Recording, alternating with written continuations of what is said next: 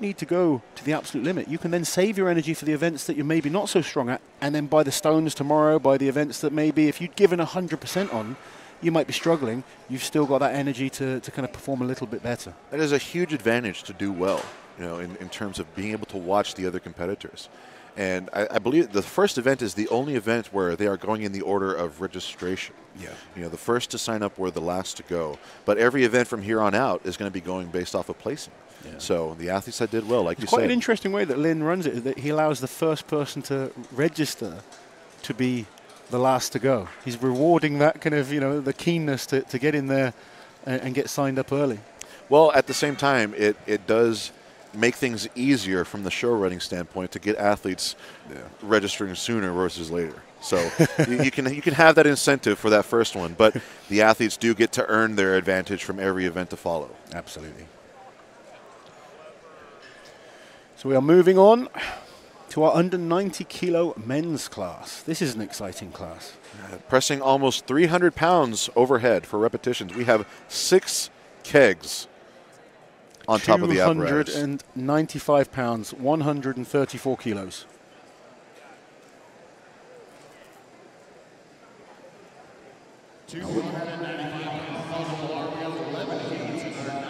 There are 11 heats in this category of athlete. That is a uh, 44 competitors.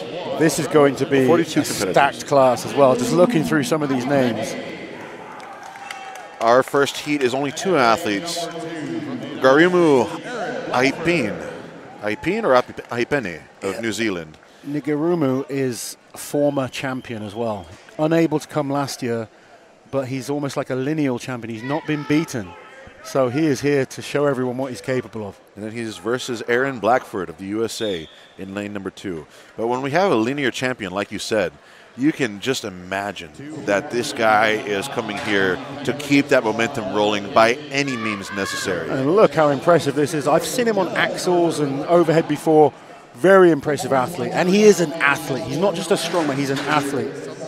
Looking at how well those reps moved, I mean, seven on the board with 295 pounds within the first 30 seconds, that is some momentum. I mean, anyone getting double figures with these type of weights, they are scoring huge points. That's serious stuff, Lars. He's biting his energy well. He has one more. of the hardest names to pronounce. I think that's fair to say. he does. I, I, feel bad if I mispronounce it, especially with someone as renowned as himself. We're approaching the 10 second mark. He needs one more rep to get that double digit.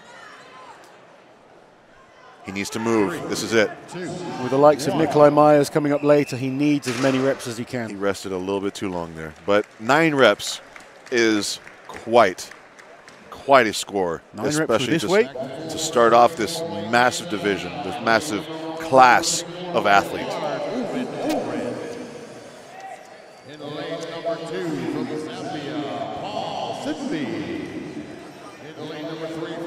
Okay, our second heat in our men's under 90.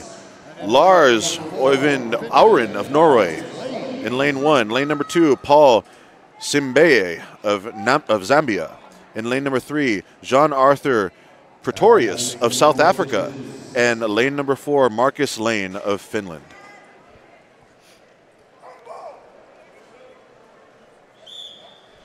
An amazing coming together of many nations here at this World Championship event. Simbaye looking very powerful on the early reps.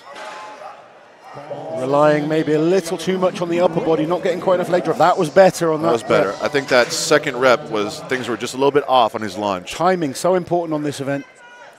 Utilize the whole body.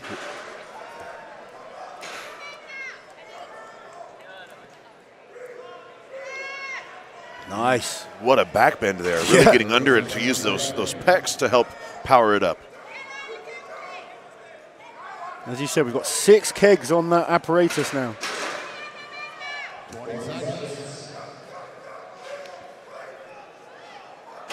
Was such a is on six repetitions. Lane on four. Pretorius on one. It's such a big apparatus. I can just imagine what that downforce feels like of that thing coming down on them. Three, two, one.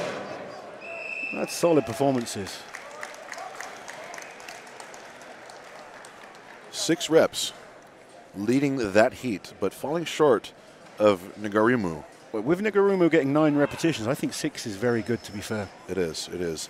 Heat three, we'll start with Kai Kendrick of Norway in lane one. In lane two, Stian Lonunthur of Norway. In lane number three, Anthony Martin of Australia. And in lane number four, Dan Benson of England. That's some strong Norway representation here. Yeah. A land of mountains, stones, and fjords. Lots of strength coming from that part of Northern Europe.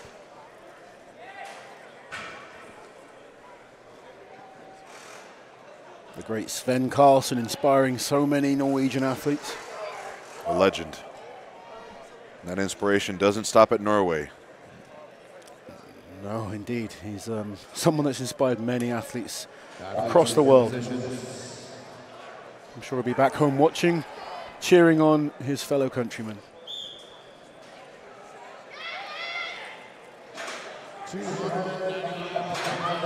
Lane number four, Benson, on his way to rep three.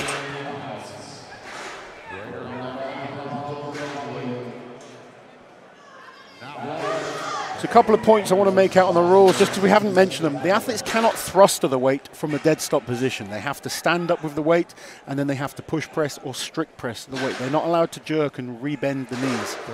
It's, it has to be a strict press or a push press. Now, to touch off of what you just said, they cannot start the press from the bottom with the apparatus touching the ground. But if they want to squat down and on their recovery, launch it from the bottom of their squat without the apparatus touching down, they are allowed to do that. No, it's not allowed to touch the machine. So when they get measured up the day before, Correct, it's correct. not allowed to touch. Correct. They can squat down once they've they've lifted the weight.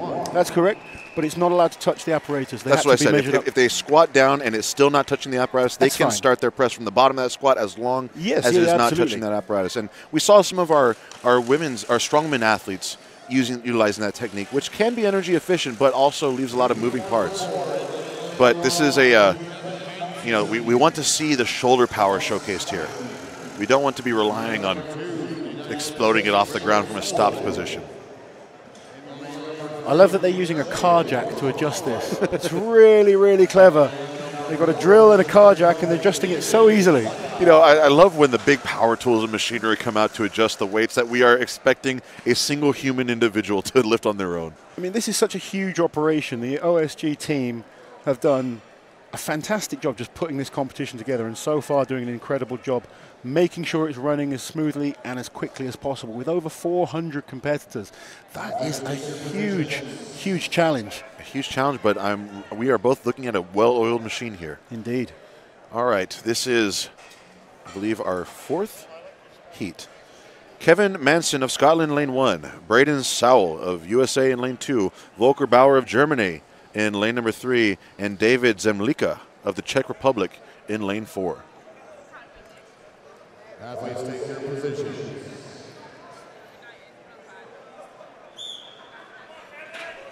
Manson, Sowell, Bauer, and Zemleka. Lanes one to four. Still nine repetitions is the target to beat.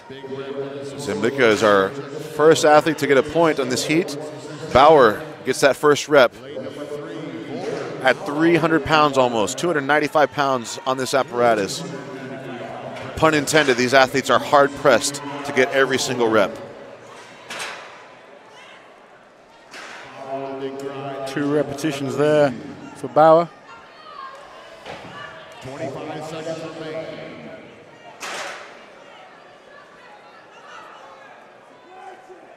This Viking press is really, really separating the men from the boys in this under 90 kilo class. Very heavy weight, is. 134 kilos, just shy of 300 pounds.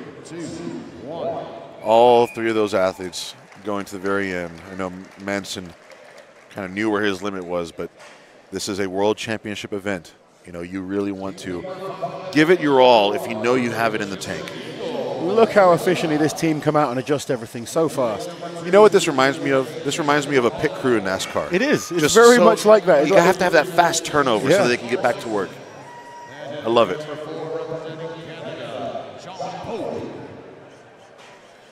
All right, our fifth heat. Diego Valenzuela, another Chilean athlete in lane number one. Chandler Caudill of USA in lane two. Seth Larson of USA in lane three. And Sean Pope of Canada in lane four.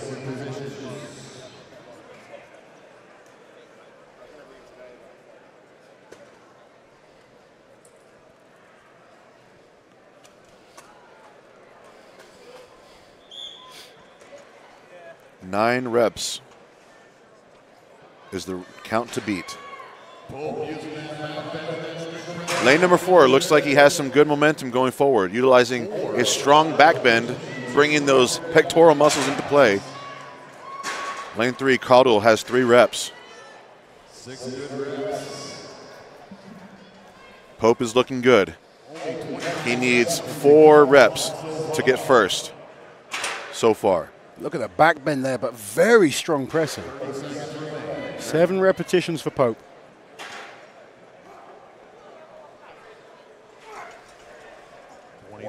Watch the back bend on Pope when he goes for this. Look at that. Ooh. Oh, he almost got folded in half there. It's Wow. scary to see when they bend back like that.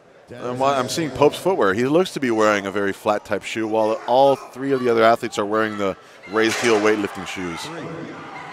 Oh my goodness! Wow. Oh, the oh. effort put into that as well.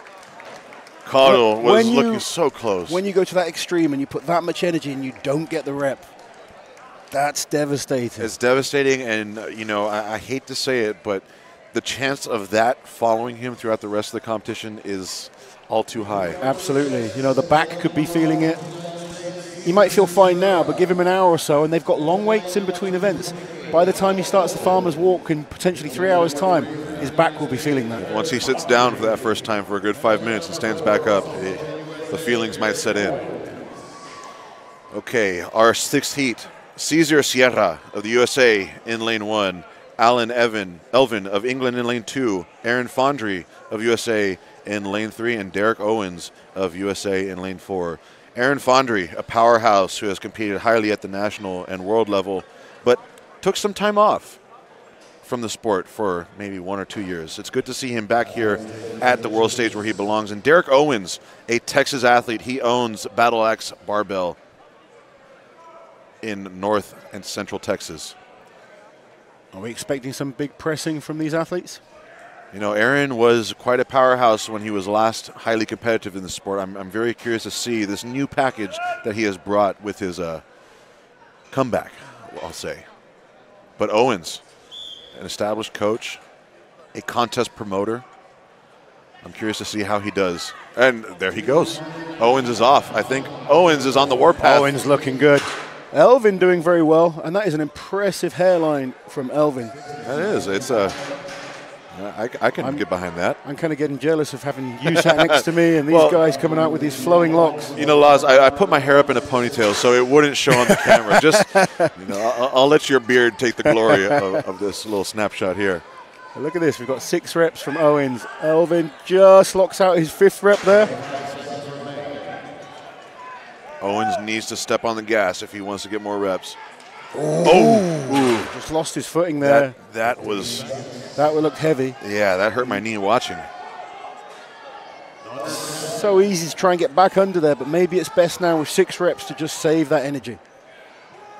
Three, two, Oh, well, he, he did give it his all on that last little takeoff there, but Six reps as well. We've seen already that is a fantastic performance in this class. Fondry falling short of getting a single rep. Uh, I, I will say that I do remember Fondry being a better deadlifter than he was a presser back in the day. So more things to come from him.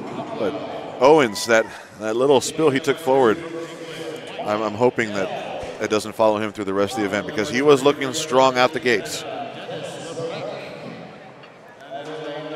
All right, our seventh heat. Luke Cromwell of Scotland in lane one, Mike Dell of England in lane two, Dennis Labreche of Canada in lane three, and Mark Cummins of England in lane number four. 134 kilograms, 295 pounds.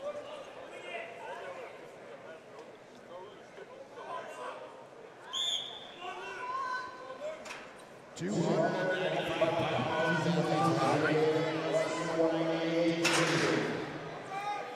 That is a long way up for lane two. A very tall athlete. He lost his counter there, but I think up, he, he did I get that think he first got rep. First rep, yeah. Cromwell in lane one looks to be a little too far back in the feet. 30 seconds remain. We're so halfway important through. to get your positioning correct on these type of events if you want to be as efficient as possible. Otherwise, you end up wasting energy. It is, and that's a unique thing about lever lifts compared to free weight is, you know, your footing can really dictate how energy efficient the press is from chest to lockout. Also, a Viking press, especially a side hand like this, it's not the same as a barbell where you try and get those elbows up high. You kind of want to squeeze them in a bit more, have your bicep and forearm compressed into each other, and almost try and get the tricep and lat compressed into each other. Then you get a little bit more spring out of your body. Whereas if you try and just force the elbows up like you would on a barbell, there's nothing sitting there, Right. and you're wasting that energy. That springboard effect can do a lot of work for the athlete if they know how to utilize it. I think we only had one rep from lane number two, and all three other athletes failed to get a single point on that heat. But at nearly 300 pounds of load being pushed overhead, this is some tremendous work at play. Our eighth heat, Gardar Olafsson of Iceland. I dare say I might be mispronouncing his first name there.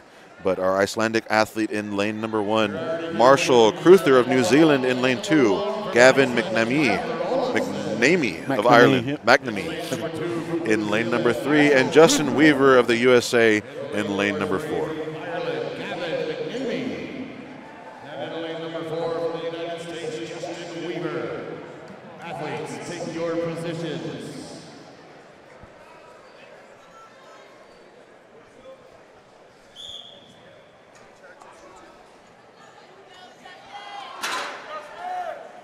Weaver in lane number four, looking good. Very solid, up to five reps already. Six, no problem.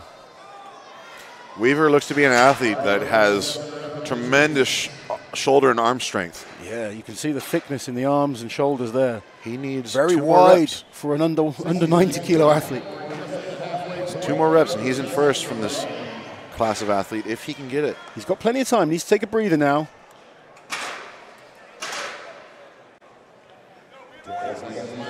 We've lost our counter for lane number two, but I believe we're still on zero reps there.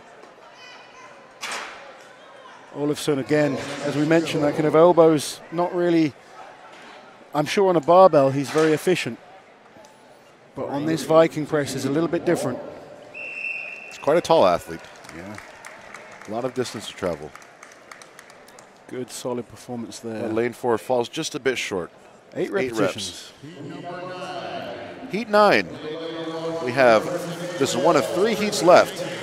Chris Jenkins of Wales in lane one, Jess Reeve of the USA in lane two, Brandon McNamara of USA in lane three, and Joey Stemke of USA in lane number four. Chris Jenkins, an excellent power lifter, just starting to dabble his toe into strongman a little bit more. He was here last year. Let's see if another year of strongman training has been paying off.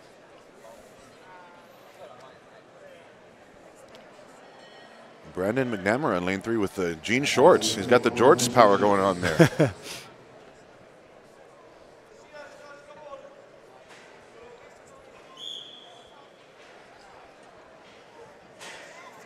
McNamara with the rep.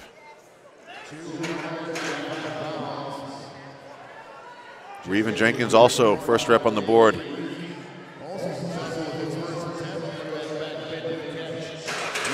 Now Jenkins has to be careful. His footing is changing on the way up.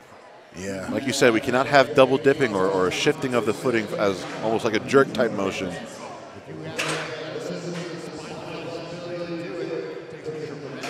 This is heavy weight in this class.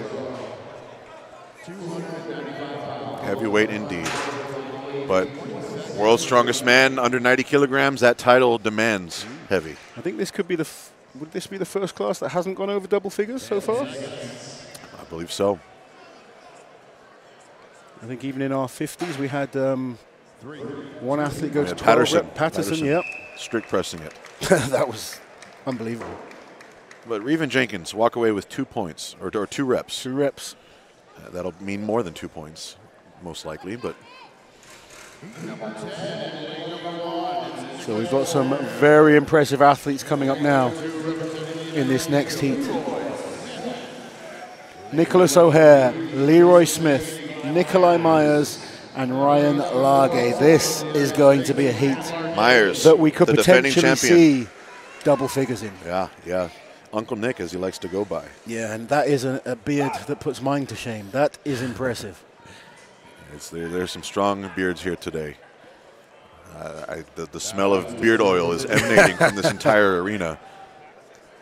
I'm looking to see some big numbers from Nick, but all these other guys as well. Leroy is impressive. He's a good all-round athlete. Very nervous last year. Kind of underperformed a little bit on the overhead just due to nerves.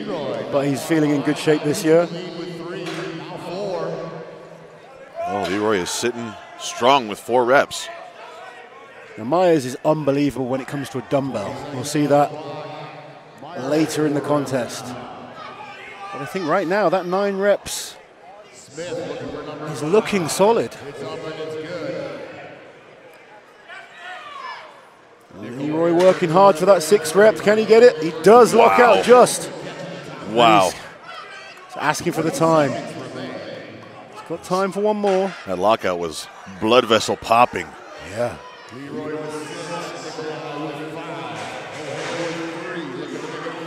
He's got to go now. Got to go. Come on, Leroy. Uncle Nick. Wow. A last minute, a last second That tie right there. shows why he is a champion. Getting that rep in just when it counts. knowing how to time and bide your energy when you put it down. This is one of the things here is when you do put that down and you're in that state of fatigue, time goes by much faster than you actually feel. The athlete has to be so well tuned with knowing how fast time is moving, how to not get spoiled by the rest because we've seen it all too often up to this point that some athletes set that bar down then they hear all of a sudden 3 seconds left and then they're rushed to get that last rep and they just can't do it. But Nick right in the nick of time. That was perfect. All right, this is our final heat. Heat number 11 in our men's under 90 category. Tyler Davis, Devin Ford, Andrew Pepiot, and Cameron Peters, all USA athletes getting under the 295 pound Viking press.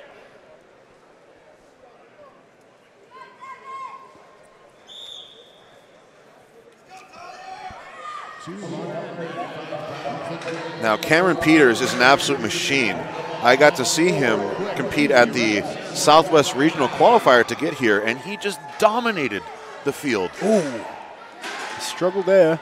But he's already at seven.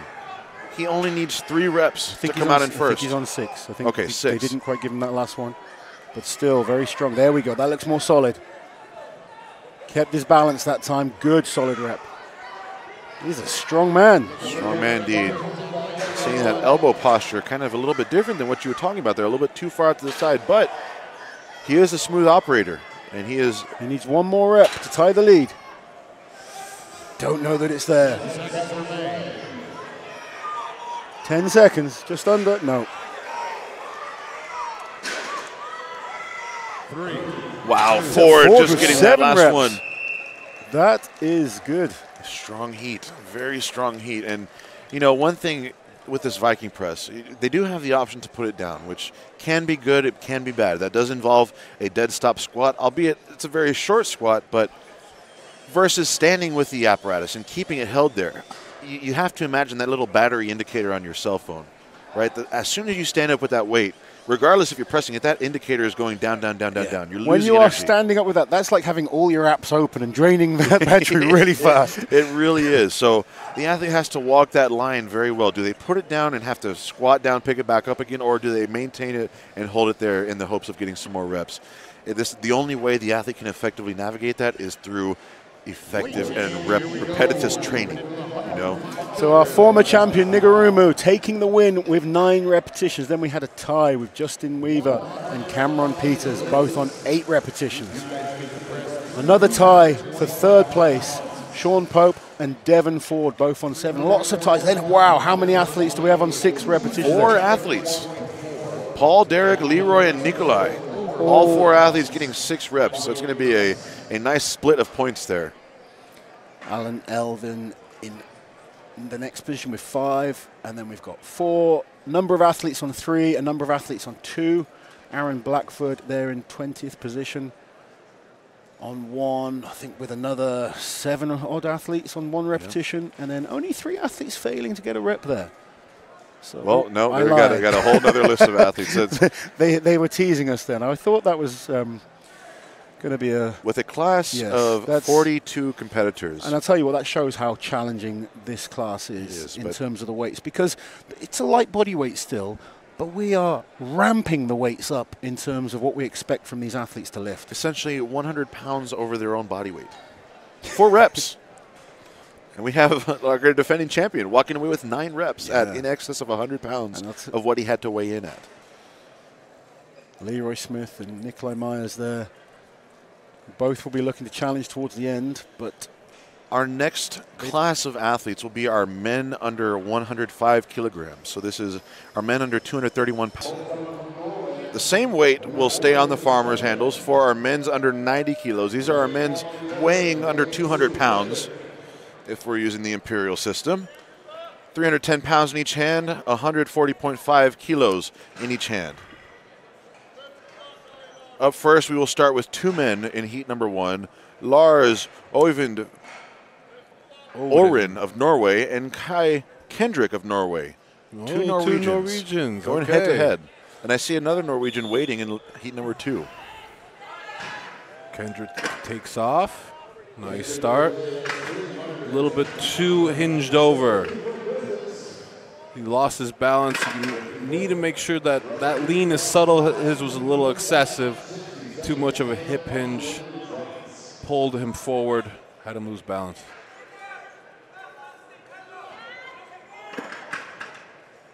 Three hundred ten pounds. This is 310 reasons in each hand why it should not leave the ground. But our Norwegians are here for a reason, and they want to leave every bit of it here on the field. Kendrick fighting for every single inch he can get.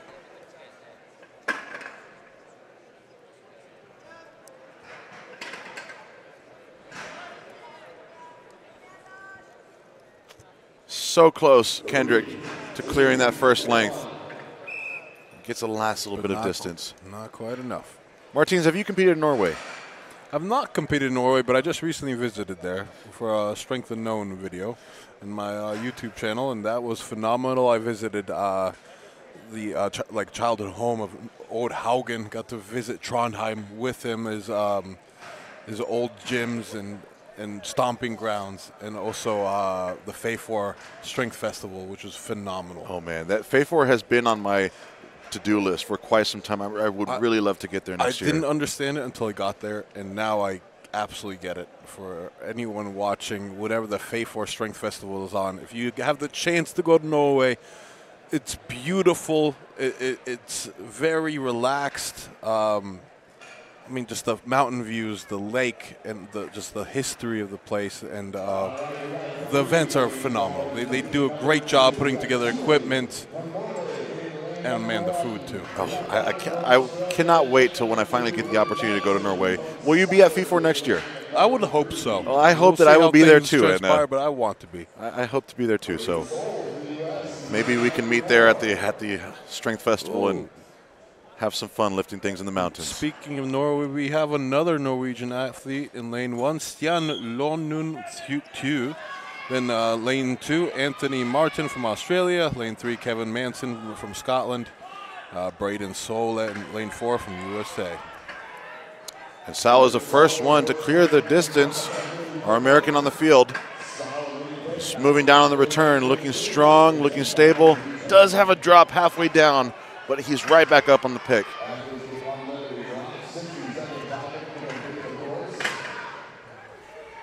This final stretch is where everything counts. He needs to be secure, just clear it. Finishing is so important to get that time on the board.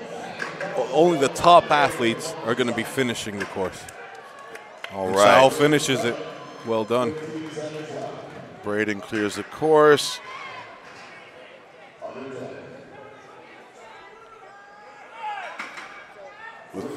Two and Manson. Two of Norway going the farthest distance out of the Norwegians.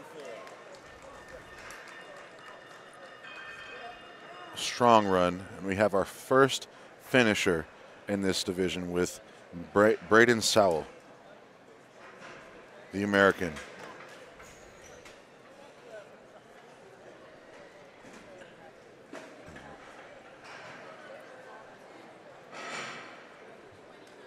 We're getting a reset for heat number three. And Braden finishes with a time of 42.34 seconds. puts him on the board. You guys, um, as you're watching, resetting is incredibly, incre- it's taxing. I've done it before. I've been a volunteer in shows like this, and it's sometimes more exhausting than competing itself. So, uh, absolute huge thank you to uh, the guy, the gentlemen and ladies out there putting that hard work. It's it's grueling.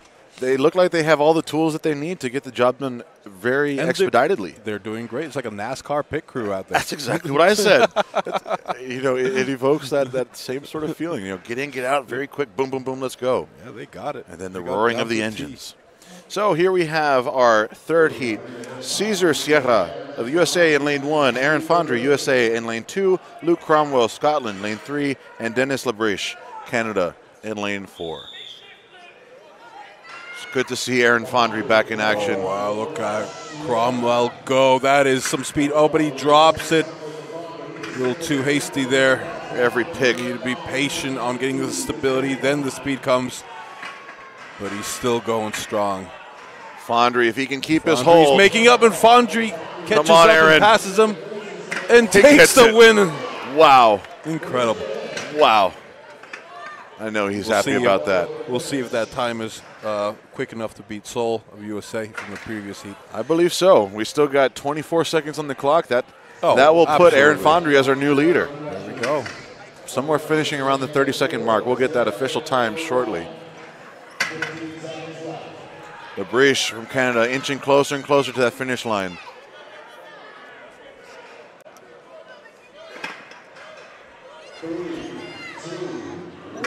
Oh, so close with Labreche. He gave it his all there. He really did. That's a good time for Fondry. 23.85 seconds for Aaron. He is our new leader. What a tremendous time to set as the mark to beat for the rest of these athletes in store. I'm going to be curious to see if anyone could beat Mark Felix's time from uh, these athletes here. They got the same weights. Of course, these are the younger guys. They're lighter. We'll see if they uh, have that speed to beat experience. Yeah, these guys have the the youth, the spry bodies, but you know, Mark, Nick, They've been around. they've been around. They, they got a little bit more body weight. I will tell you that, but still, there there will be some bragging rights involved from from either of these groups, depending on what winds up that, happening. that would be a big feat. If I were in their position, I'd be very proud to be either uh, Nick Best or Mark Felix.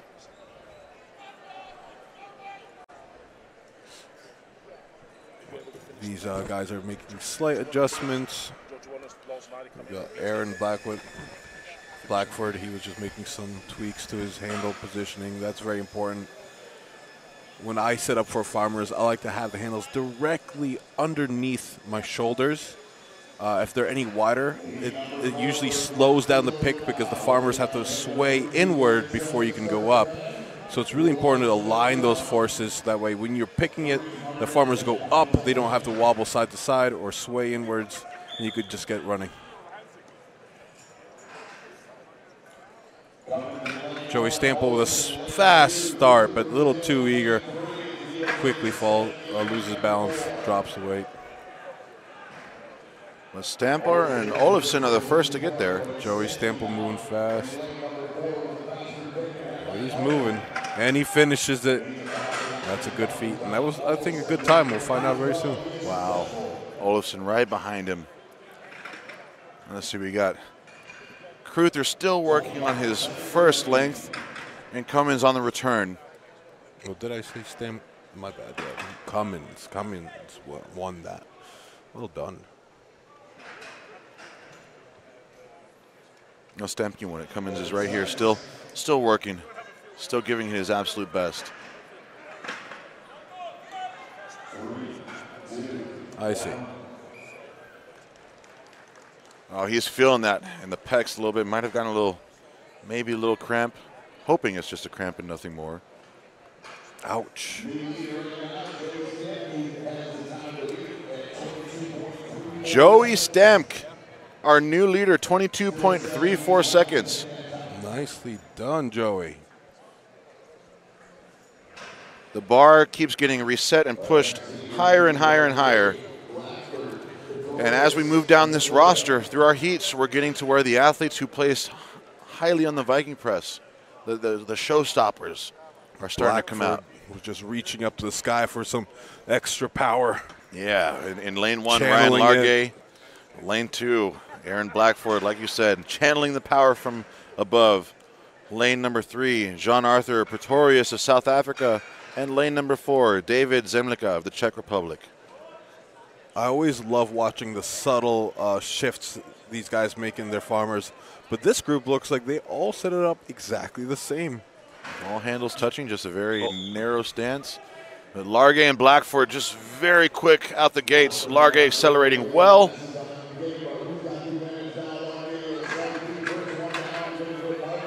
I'm loving the view on this stream right here. Like we are, it's almost like watching a, a relay at the Olympics for swimming. Just seeing all the athletes from the side. Blackford just oh. look at him. Making he looks to the side and Well laughs done, out. Blackford.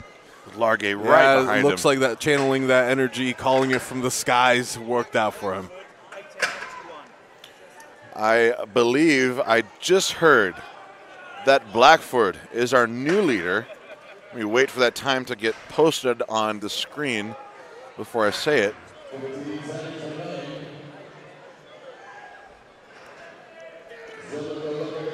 Colin Bryce sure sure likes to take a long break. I guess he really was uh, burnt out there. huh? You know, he's, he's got to get the refreshments going on. You know, make, make sure to refuel the tanks and replenishers. Aaron Blackford, our new leader, 18. 18.81 seconds. Still not quite as fast as Nick Best or Mark Felix, but it is right there knocking on the door. Every heat seems to be getting a little bit faster, a little bit better as we get onto the stronger athletes. You know, Ryan Largay was right behind him. Ryan may just have gotten under that 20 second mark. We will see. But that is a new mark to beat out of Aaron Blackford. Our sixth heat steps out to the arena. Diego Valenzuela of Chile in lane one, Seth Larson, USA, lane two, Mike Dell, England, lane three, and Gavin McNamee from Ireland in lane number four.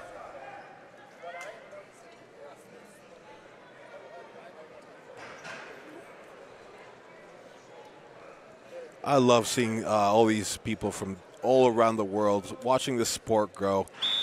I remember when I was first getting started off, it really was just the USA and, and basically just uh, Europe. And now we got South America, uh, people from Africa, and even China coming together here to compete. It's amazing. It really is. And Look at at me, my goodness. That looked fast. That may contend with Blackford. And Dell, controlled and stable behind him, may not have that same lightning speed, but he looked good. He looked strong. He is definitely getting some good points there. Valenzuela, With the finish. Chilean, right there behind. And that finish is very important. It's going to get him some good points. Seth Larson, giving it his best. Still getting distance. Still has fuel in the tank. He calls it there. He knows he's got some back-powered events later to come. He wants to stay. Gavin McNamee, new leader, 15 Every single heat, four seven. consistently climbing up. I love it, man. It's an incredible display of strength Hey, and power. that's our new fastest time with this weight. That is that beats both Mark Felix and Nick Best. Well We, done. we have it. It happened. And you know, Martins, we still have four, five heats left to go. And these are five heats comprised of our best finishers on the Viking press. So the guys who have already proven themselves to be strong, stronger than the rest, at least with one event. They might be even faster. Incredible. It kind of uh, gives me a mix of nervousness and excitement To, see just how fast he might Yeah, get. yeah. But oddly enough, sometimes the best pressers, are, they tend not to be the fastest guys. You're right, but I mean, we, we've seen it proven in a couple of cases. You know, like Andrea Thompson, another one. She's got back-to-back event wins now. Incredible. And I mean, she did phenomenal on the Viking Press, and she won the Farmers Walk. So there are these. It does happen. It does happen. they're rare cases. And diamonds in the rough. That's what makes an excellent uh, strongman athlete. Ultimately, you want to be well-rounded. You don't want to have an ace event. You want all evened out strength across all events, and that's what uh, gets you to win. McNamara, Bauer, and Reeve. Jenkins is missing in lane three, but Bauer clears the course first in this heat. McNamara transitioning as Nice is. Reeve. Bauer moving steady, gonna finish it up. Boom. Nice, good finish. No mistakes. Nice and smooth He looked good. on the on the McNamara board. needs to get time. that thing up.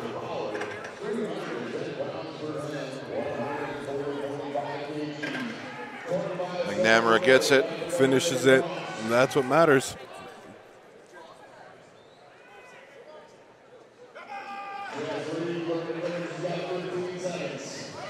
Fifteen seconds left. Will he finish it? Let's find out. Jess Reeve. So close.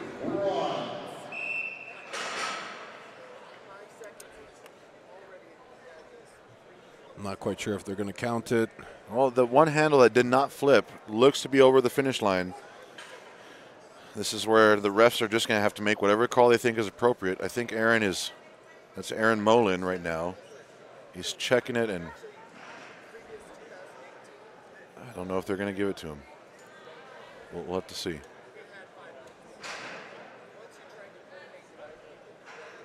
They, they gave, I see a thumbs up there. Volker Bauer finishing with 22.34 seconds, I believe I saw there. So not quite fast enough to inch out our first two places, but that does tie dead on. Millisecond for millisecond with Incredible, Stemke. incredible, and still good points. Great points. It's in, and this is a points game. You know, if, if he is vying for a spot in the final, which I'm sure he is, he did exactly what he needed to to give himself some contention. But here we have our next heat, heat number eight. Andrew Pepiot, USA, lane one. Dan Benson, England, lane two. Chandler Caldell, USA, lane three. And Nicholas O'Hare, USA, lane four. Benson just blasting off. Are we going to get a new fastest time? Quick It transition. all comes down to this: how quickly can he get back? He's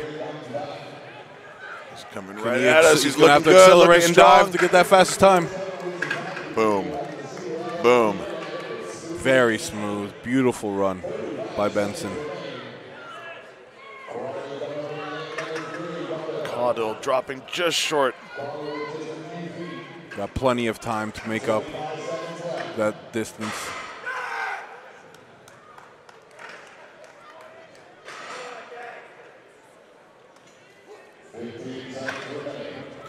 O'Hare and Pepiot working on their return. Giving everything. Pepiot looked good on that pick. He's got a lot of strength, but there's a little bit of wobble taking place. I think the endurance in his fingers is just not there to maintain that close grip. Dan Benson, 18.1 seconds, It's a good time. sub 20. Good enough for third.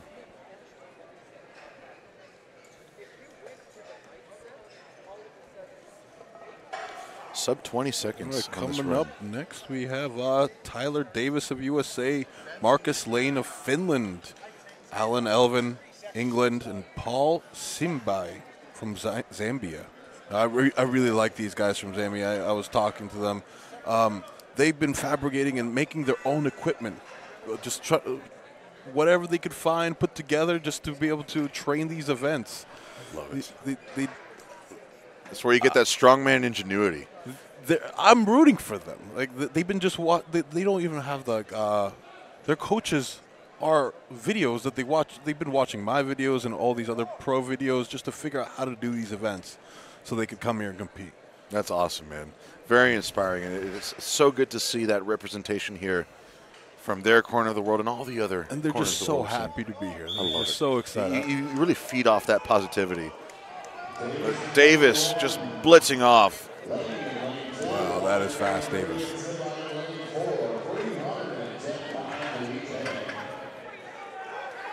He's looking good. He's got eye. Oh, Simbai costly. Just, Simbai just came a little short. Had to uh, push a little extra inch to finish up that distance. No, but he's looking strong. Uh, he, Simbai, if somebody can get this event finished that'll still be good enough points to put him in the running for the finals. Come on, Simba. So close. close. And he gets it. A good time, too. Elvin moving down. He's got the locks flowing. Fighting hard to finish half the course. 310 pounds per hand. This is heavy, heavy weight. Grip failing.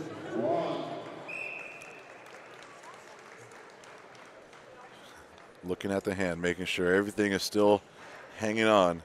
Clearly a strong individual. Also came up to me earlier for uh, advice on maintaining long hair, and uh, I don't, I don't really have much to give him. It's, it's a struggle. Did you tell him your favorite conditioner?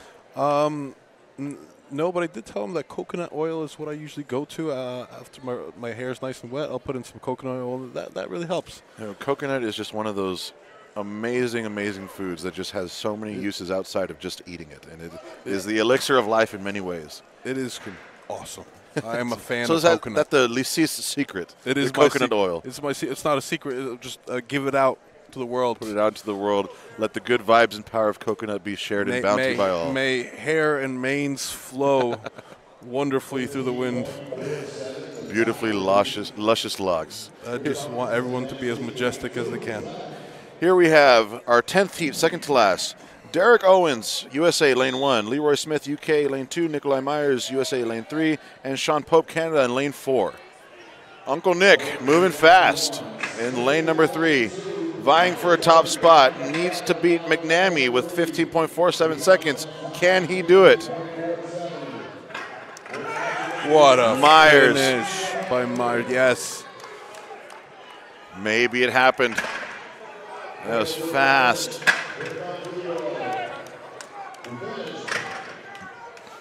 Three finishes so far of this heat. Derek Owens still moving down the course with juice in the tank. He's 75% done. This is heavyweight. This is near top end. Still got 10 seconds, just slightly under. He's going to have to really dive forward for it. Not quite. Very close to that Very finish close line. indeed. Gave it his all. Nick Myers right there, 17.88 seconds. Not quite fast enough to beat out McNamee, but fast nonetheless. And I believe that is fast enough for second place. We'll have to get the official confirmation after we have the scores tabulated shortly. Our final heat steps onto the arena.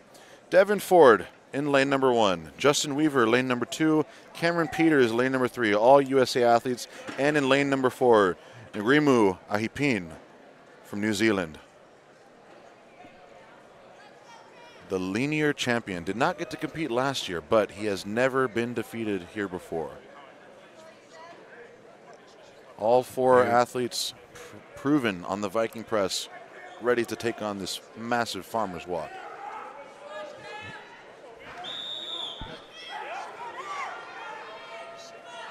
Sprints. Cameron moving with a little bit longer stride than Nagrimu. Peters halfway.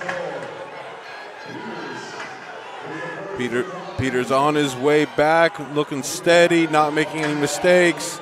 Oh, he's got to Oh, hold he's on. making a little bit of wobble right there at the end, but he still Gets makes it. it. That's going to be a good time for him. Good points, Wow. solid finish. And you could see he really wanted it. Nagrimu right behind him. Very, very close finish. We have Ford and Weaver closing in on that finish line. Ford, one more pick, he could get it. We're going to see some major juggling of points after this. As in the earlier heats, we had some good times and uh, some of these better pressers. Um, didn't quite finish, so this is going to be reshuffling the board. Wow. But at least from what I can see, we had in first place, untouchable, Gavin McNamee of Ireland with 15.47 seconds. In second place, from what I can see, Nikolai Myers, 17.88 seconds. I mean, th- these so many sub 20 second times with 310 pounds per hand. Just incredible. So I believe Chris Jenkins, who did not make it to the arena in heat number seven, is going to be given a tip of the hat and allowed to go solo to get a time. He is representing Wales. He has traveled across the sea to get here. We want to let him contest his skill.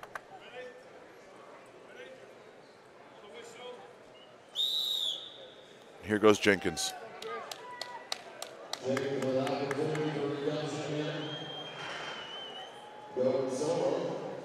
No pressure. No pressure when you're going on your own. Looking good, looking strong. He's got wobbles going left and right, but he's he's maintaining it. He's holding strong. Oh, and he loses that balance. Those wobbles always catch up to you if you can't get that stability. And he finishes it. Good With time. Just a few repicks, but he still got a good time there. Good speed. I'm glad he was allowed to to do his carry because he obviously has some skill and strength to showcase here. But we're waiting on that last time to be input to our scorekeepers.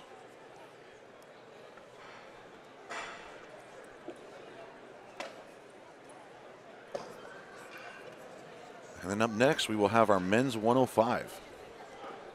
Our athletes who weighed in under 231 pounds body weight will be lifting 330 pounds per hand. And here's our scores. Gavin McNamee, first place, 15.47 seconds. Nikolai Myers, second, 17.88 seconds. Dan Benson, 18.1 seconds in third. Aaron Blackford, 18.81 seconds in fourth. Ryan Largay, 19.84 seconds in fifth. Interesting. Uh, these guys are actually t- a lot closer in time than uh, the Masters above 50 were. They're they're very tightly grouped in pack. I mean, we have top five all placing sub 20, and then spots six through 10 all placing in from 23 to 21 seconds. Just very, very tight grouping, but a high caliber of athlete does not surprise me when we have such a narrow grouping like this. Yeah. Impressive strength. And look at placings 10 through or 11 through 20 right there. Still, only 10 separate 10 seconds separate the performances of place 11 through place 20. Very strong work in a weight that can rival some weights that super heavyweights like ourselves do face in certain events. Those were good weights. Now, I've heard it said before uh, by promoters of events that the ideal. And I'm pretty sure Mark Felix is about to surpass that. I think Ode was 57. Wow.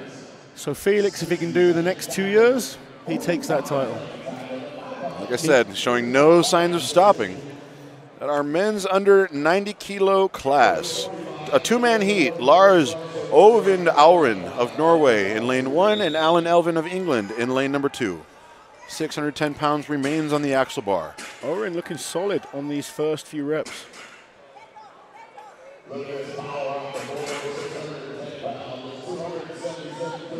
Alan Elvin putting the hair up for the deadlift. Usually I let the hair down for the deadlift. You like to see it flicking all over the place. I, I, more so, I like to kind of have that barrier between me and the crowd to just really focus on the task at hand and sharpen my, my, my clarity and the objective at hand. But So if you cut the hair, that, that you wouldn't be able to do that.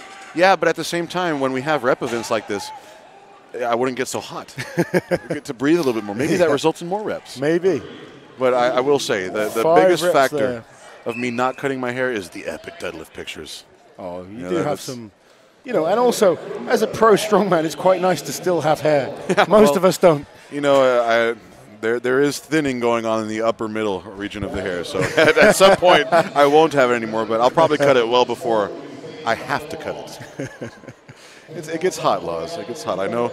I know the lower half of your face only has that problem. Believe it or not, there was a time I had long hair. I want to see those. many I want to see ago. those pictures surface. You need to do a throwback Thursday for us all one of these days. All right, heat number two. Kai Kendrick in lane one, Marshall Cruther lane two, Anthony Martin lane three, and Kevin Manson in lane number four. Low gear power to get this deadweight axle off the ground. Manson and Kendrick both managing one rep, but it looks like that could be the limit. All four athletes have been brought to a stop. Max effort at this load. I think that's it. We're just going to see that one rep out of lanes one and four.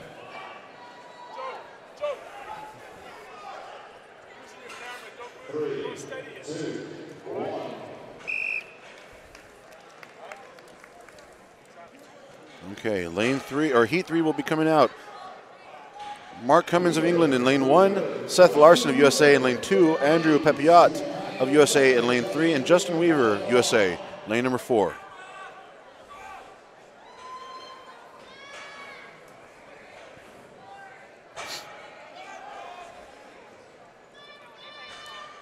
Weaver is not out there. Not sure the reason why. But they are not waiting for any athletes. No, we are moving fast right now.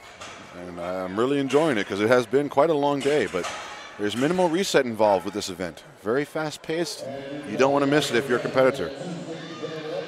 Larson taking a bow. He's happy with that one. And Cummins. Oh, there's Weaver. Oh, he's he's Weaver. He's late to the party. He straps himself on. He needs to go, and he gets a rep. He's got to go quick. Needs as many as he can. There's two.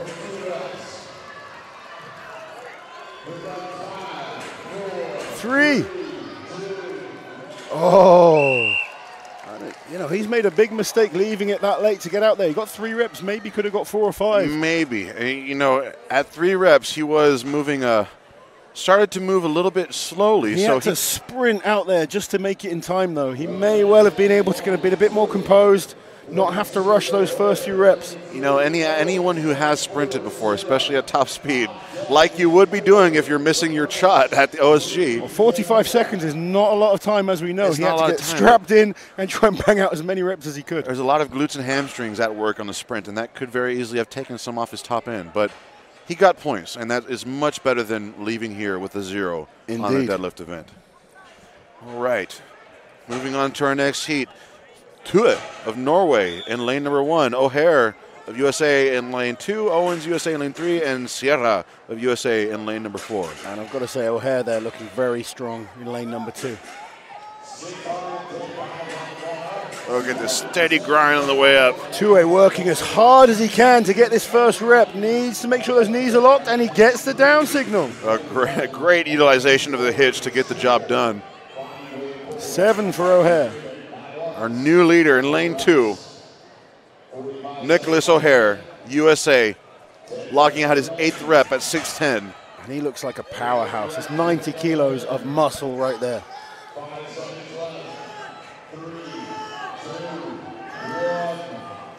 He, he he could have gotten it possibly if he had a little bit more time, but yeah. But solid performance and puts himself into first place.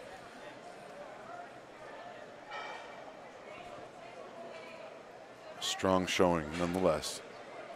All right, moving on. Heat number five, Devin Ford of USA, lane one, Dennis Labrèche, Canada, lane two, Jess Reeve, USA, lane three, and David Zemlicka, Czech Republic, lane number four.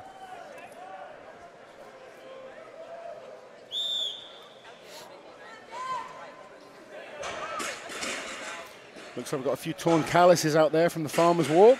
Good thing that they've got straps. Yeah. Might be, uh, Torn callus won't affect the rest of the events to for today. well, I, I wouldn't count the sandbags out, especially the heavier ones. It's, well, we'll see.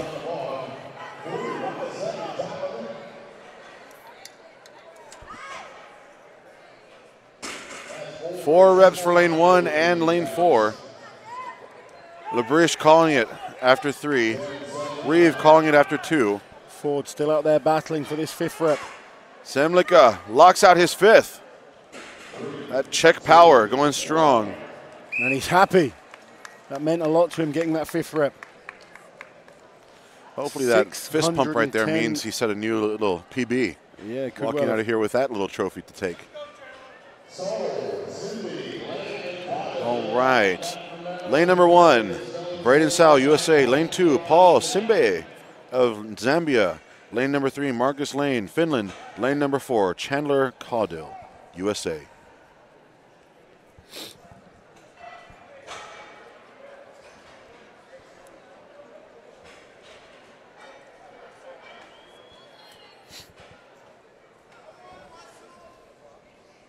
Okay, O'Hare still currently our leader on eight reps. Can any of these four, Sowell, Simbe, Lane, or Caudill, take that? Looking at the first reps, I'm going to say no. So now it's all about as many reps as you can get. Add to those points. Simbe on two, Sowell is on one, Lane is on one. And Caudill finally strapped in and moving well. He moves up to two quite quickly. Three reps. After a slow start, he's put himself into the lead. Lane matches him.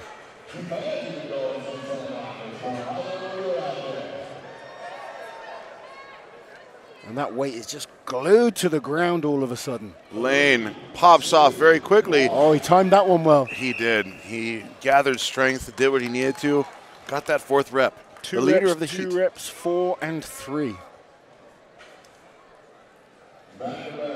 Lane number one, Brandon McNamara, USA. Lane two, Jean Arthur Pretorius, South Africa. Lane number three, Diego Valenzuela, Chile. Lane number four, Sean Pope, Canada.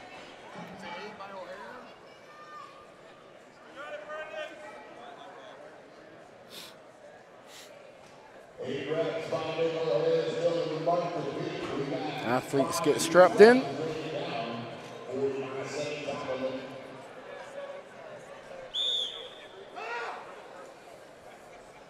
We're going to see some reps here. Lane number two, Pretorius from South Africa, just hot out the gates. Really explosive, powerful off the floor. Another deadlift Losing technique. some tightness in the upper back, but he's very strong at the lower end of the lift. Similar, similar technique and posture to Daglish, That's but it. making it work for him. The key for him, and being an axle, he has the power off the floor. Gets it over his knees, then he can just work that hitch. But you have to be careful with explosive type pulls that you would utilize on a barbell because that does not work the same way. And with a dead weight like an axle, this is where we need to think about torque and really establishing that low gear power off the ground. It's not like a race car trying to take off, but like a truck trying to pull a heavy load. Absolutely. Also safer as well, long term. Yes, yes. You got to think, think and preserve those discs. Pretorius there got a good result, but whether he'll still be lifting in five, ten years is another question. We'll have to see. You know, we, we can only hope that longevity sustained itself in our South African brother. Chris Jenkins, closest to us from Wales, another former powerlifter, so deadlift should suit him. Luke Cromwell in lane two, Leroy Smith in lane three, and Gardar Olafsson in lane number Leroy is looking strong in lane number three.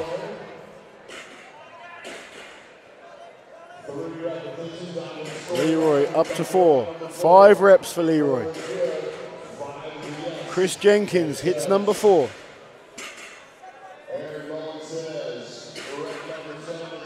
And Smith is closing in on that target of eight reps, still set by O'Hare. And he gets it. Eight repetitions. One more now to see if he can go into the lead. He's got a hitch. Hips through. Wow. Down signal. Nine reps, and Leroy enjoys that one. He gets the, the nod to the crowd, basking in his nice felt feeling glory. knowing you've done a good job. It is, especially on a deadlift. There's something that awakens itself in the soul on the deadlift. I'll say maybe Man versus bar. Lift it from A to B. That's all that matters. no cheating it. There's no beating around the bush. It is very, really a primal type of actualization of power. Dell, Ahiping, Fondry, and Peters, respectively in their lanes, attacking the 610 pound axle. Naramu looking smooth in his first pull. Wants to defend or regain this title, should I say. Fondry on three reps. Peters on three. Dell hits three. Oh, Fondry is a great deadlifter. He's got awesome levers for this. Dell looking strong, closest to us. Peters Fondry, on Peters, six. so close with each other. Dell hits six now. Peters on his way up with seven. He gets it. Seven repetitions for Peters and for Dell. Looks like Peters is gassed. Dell needs to give it his all. Oh, that's time. All right. So Dell and Peters there taking seven reps. Big points for both those athletes.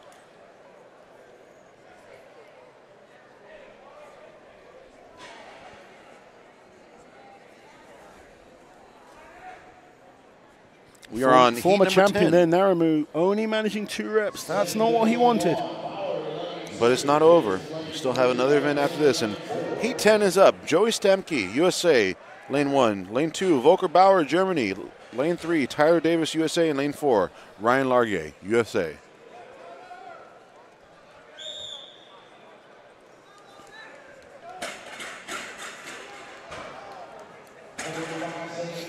Damke in lane one. Very fast in the early reps. As is Davis, lane number three. Five repetitions respectively for both those athletes. Six. Davis is on seven now. Davis taking pause after that seventh rep. Stemke taking pause as well. Stampe Davis. Davis battling it between each other. Can they get eight? They both hit eight reps. Stamke is showing a little bit more energy left, but he's pulling himself free of the bar. I think they're As both done. Davis. wow. But Yeah. very solid once again. Eight repetitions. That's big points for both. Know, with men. as long as that last rep took both those men, I don't think with the remaining time, even if they did try a final No, rep, they would have I- gotten I it. agree. They look like they spent that energy level. Our final heat of our men's under 90 class. In lane one, Aaron Blackford, USA. Lane two, Dan Benson, England. Lane three, Nikolai Myers, USA. And lane number four, Gavin McNamee, Ireland. Gavin is a big deadlifter. The defending champion, Nikolai Myers, USA. Lane number three. The pressure is on. His title on the line. Watch the Irishman in lane number four. He's a powerhouse when it comes to deadlifting. Wow, and it is showing. Myers needs to dig deep, defending champion. He needs as many reps as he can get on this event. Probably potentially his weakest event in the contest. He's got lots of good events to come. Benson. McNamee and Benson both looking really strong right now. Benson has has more in the tank. He's at nine, nine. reps. And he's going to hit double figures. Look at that. He Our goes into the lead. McNamee still moving, gets his ninth rep. But Benson here in lane two on 11 reps. No one's going to catch that now. Wow. And did Blackford just sneak in with his last rep there? Don't know that they're going to give it to him. But wow, 11 reps. Laws. 11 reps at 610 on an axle. I mean, this is a for for an athlete under 200 pounds. Uh, it would it would make me burn to do this. Can you remember the last time you were under 200 pounds? I can't. No, I can't. Let's see. I'm gonna listen into what Lynn Morehouse is saying.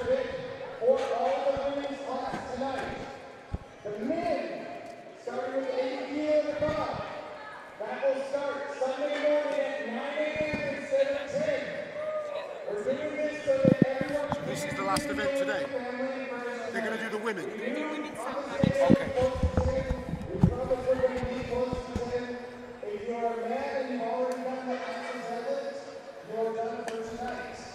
Okay, that's very interesting. So what we're hearing is that Our men under 90 kilo class with Dan Benson in the lead with 111 and a half points, followed closely by Cameron Peters in second with 109 points. A bit of a spread between Peters and Leroy Smith with 104.5 points. One point behind Leroy is Tyler Davis with 103.5.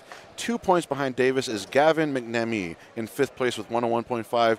And Nikolai Myers, 100 points for sixth. Blackford closely behind by another point and a half with 98.5. And Pope, Ahipin, and Dell all closely following, but a bit of a spread between Pope and the linear champion Nigarimu with 85 points for him and Mike Dell in 10th tied. Is now finishing with a bag heavier than my own body weight by only a few pounds. And, uh, you know, whichever man is able to successfully get all four bags, I might have to further test his abilities when the contest is over, ask him to shoulder me. I think that would be unfair after these athletes have done seven grueling events. right, let's, let's punish the body even more and shoulder Gabe. Maybe that could be a decider if we have any tied events. The There you tied go. athletes. We'll, we'll pitch it to, to Lynn Morehouse.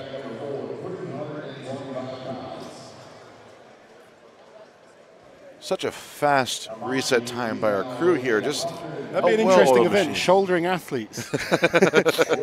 Who do you start with? You start with Rob Kearney, and then maybe like myself, then you, then we got Evan, then maybe a Brian Shaw. I uh, I really sympathize for the man that has to try to shoulder Big Brian. That is uh, that's a that's very bone crushing right there. We're working in that, getting bigger and uh, the heavier and longer at the same time. I feel like we should throw Dimitar in that shoulder series. That Somewhere, would, that would be an awkward one. It's so good to see the mighty Mikko back here today, giving his best in contest. And we move on to our men's under 90 kilo class. A two-man heat steps up to the arena. Mark, Marshall Cruther, New Zealand, lane one.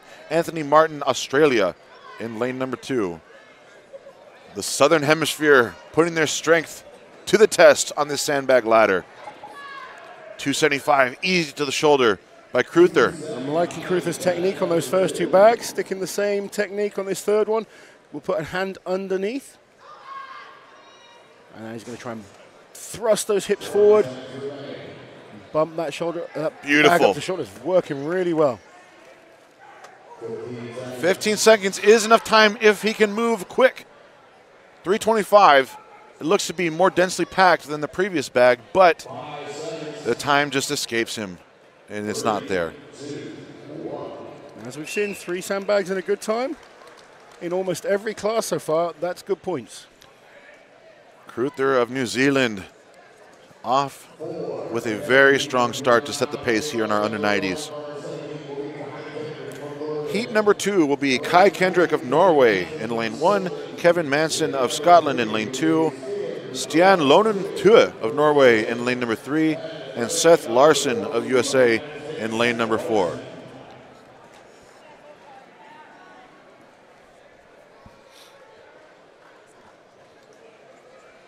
So Cruther hit three bags in 28.41. Good time for three bags. Got two Norwegians here in this heat.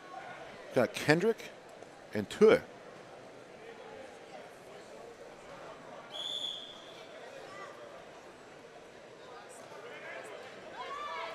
Look at lane three.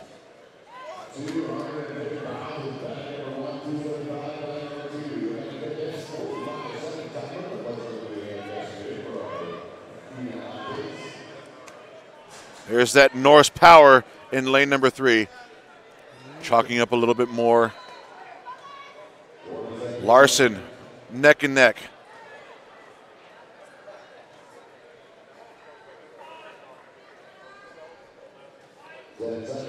With these longer sandbags, it's just so much more challenging getting it sat on your lap. We're seeing a lot of athletes having to really battle just to get into the right position before they can focus on that transition up to the shoulder. You know, I might be mistaken, but I want to say that both the 300 and the 325, these last two bags in the series, are the same bag shell. The 325 is just more densely packed with another 25 pounds of sand. That's and you're going to see that third one is, is that little bit of flop. It, it wants to give and shift on the athlete. It is not a stable When all that set weight kind of sinks to the bottom, it's very difficult. especially with the athletes that utilize a technique that has it picked up vertically to the lap. You got to really get that arm under, like we saw hmm. in Cruther of New Zealand in that first heat. Heat number three: Brandon McNamara, USA lane one; Mark Cummins, England lane two; Caesar Sierra, USA lane three; and Braden Sowell, USA lane four. Sierra in lane number three, just a strong powerhouse proven through yesterday, carries that momentum, followed closely by Sal. 300 pounds on the way to the shoulder. All four athletes. Sal gets it and moves on to the big bag. McNamara on in lane number one, catching up with the other, and he does. He sneaks in. Five ah, seconds. just Sal needs to move. time. It is not enough time, but wow, we saw three athletes in that heat all advance that final bag, just with time escaping them to execute. We are going to continue to see that bar in performance pushed higher and higher as the heats advance. I was watching McNamara on the um, in lane number one, and although he was slower to get the sandbag to the lap, once he was at the lap, he was very quick on getting it up to the shoulder, just wasting a little too much time, and he ran out of time in the end on the final bag.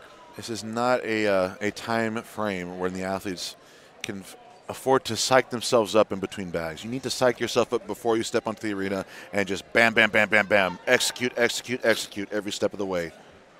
Heat number four, Gardar Olafsson of Iceland lane one, Jess Reeve USA lane two, Paul Simbe of Zambia in lane three, and Grimu Ahipin, New Zealand lane number four.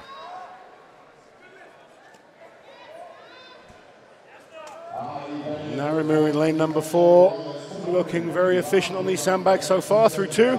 Can he keep that speed now moving onto these heavier bags? Olafsson in lane one. 300 pounds up to the shoulder. Look at this aggression from Ahipin in lane number four. The linear champion who did not get to compete last year is to wants to regain his title. Can he get this fourth and final sandbag? He's so close. he gets it. There we go. The flex of pride. Look at him. Narimu, former champion. He started off well yesterday in the Viking press. Dropped a fair few points in the next two events, but this will be big points now. He needed the performance.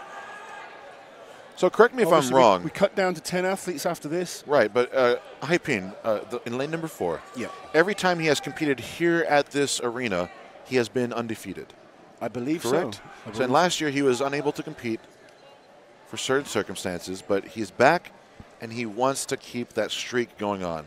But he is far from the final heat. He dropped a fair few points yesterday, so he's got a lot of work to do. but he gained some good points there, Laz. Well, let's see how these next athletes do. He's in the lead so far, and that's the most important thing for him. He's done what he can control. Now he needs to sit back and watch these other fantastic athletes. Labriche, Cromwell, Elvin, and Largay in their Cromwell respective just lanes. threw that first sandbag up. Cromwell of Scotland is the first to advance to the 300. He's quick through too. Scottish power. We know there's a lot of power in Scotland right now.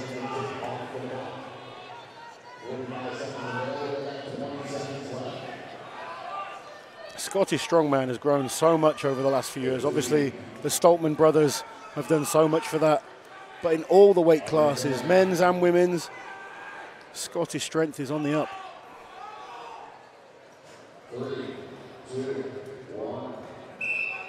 That fourth bag, just a behemoth at the end of this series.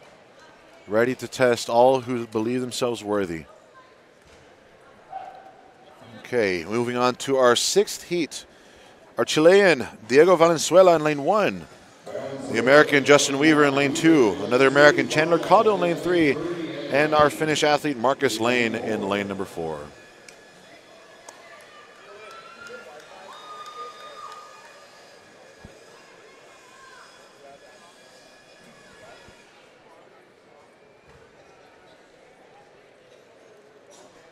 Like we might have a vacant lane number two. Yeah, not sure what's happened to Weaver.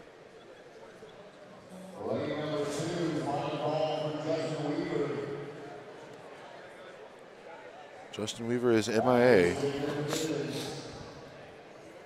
All right, and here we go. They can't wait for him. They will start.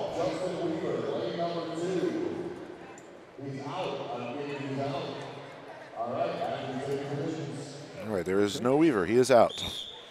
A three man heat.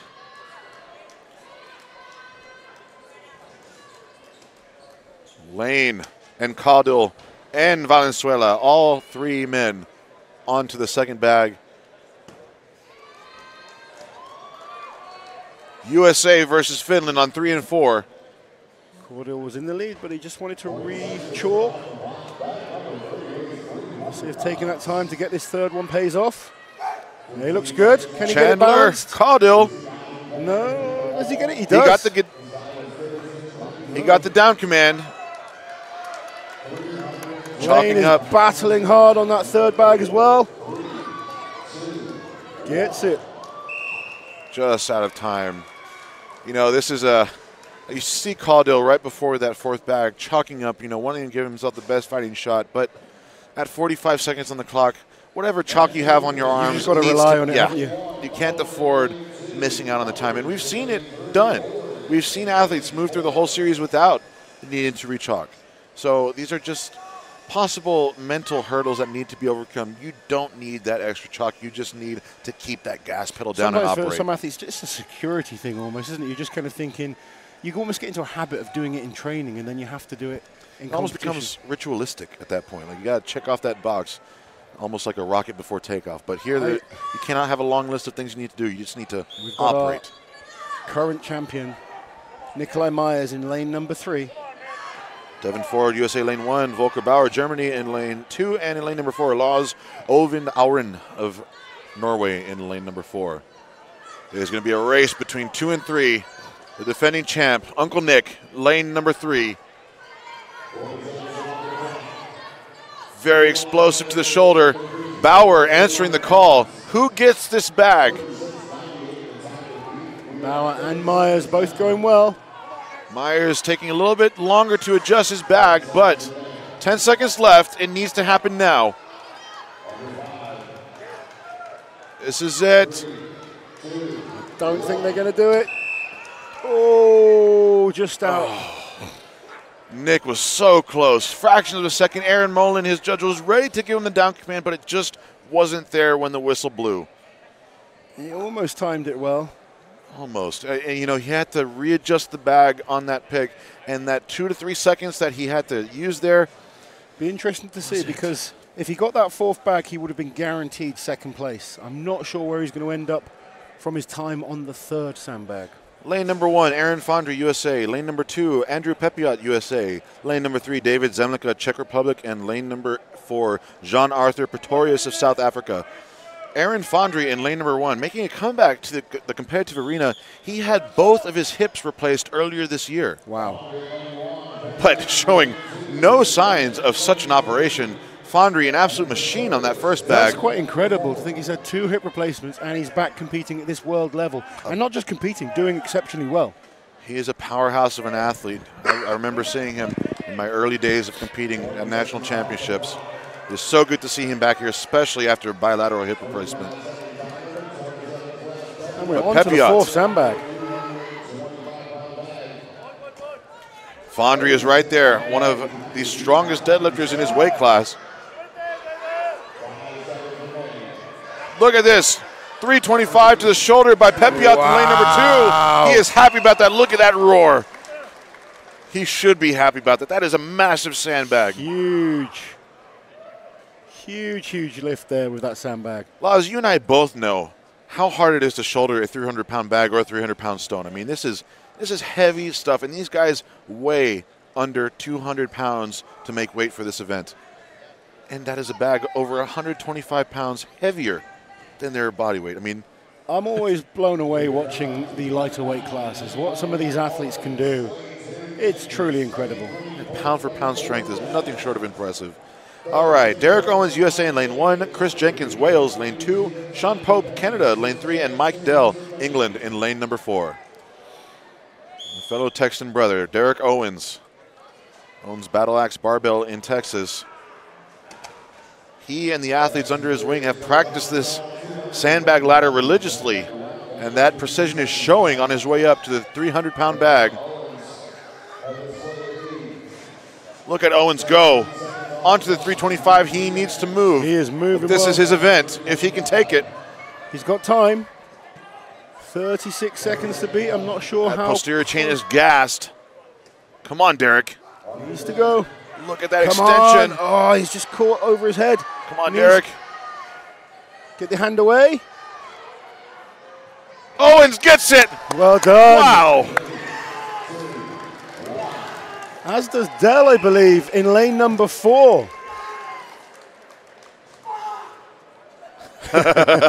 He is happy. I think he's just sh- saying he's happy. Yeah, I think so too. We, we don't need to have captions for that. but you can very much relate to that sort of uh, just supreme satisfaction of putting every bit of effort and power into getting it and then It's months and months of preparation for these contests, and the emotions build up. And when you kind of put in a performance like that, you just let everything out. What a release. What a release. All right, heat number 10, Cameron Peters. Lane 1, Joey Stamke. Lane 2, Nicholas O'Hare. Lane 3, and Tyler Davis. Lane number 4, all USA athletes. Cameron Peters, a very precise and fast athlete I've seen proven over and over. The lightest bag moves well for all four gentlemen. O'Hare looking very good in lane number three. Fast.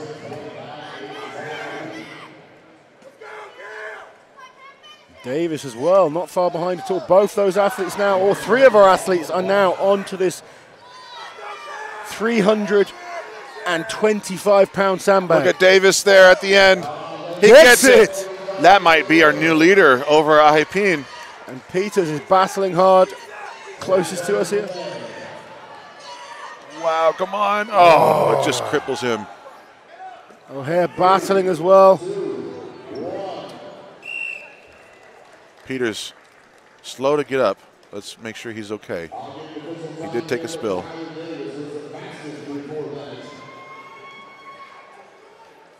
He's okay, just exhaustion, I think. Maybe a bit of a knee issue.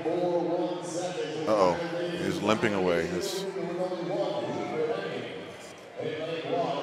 Hopefully, Peters is okay. He did take a bit of a spill, and 325 pounds of He was really having a fight with that sandbag. He was very, very efficient through the first three. That 300, 325 pounds, it's a huge weight.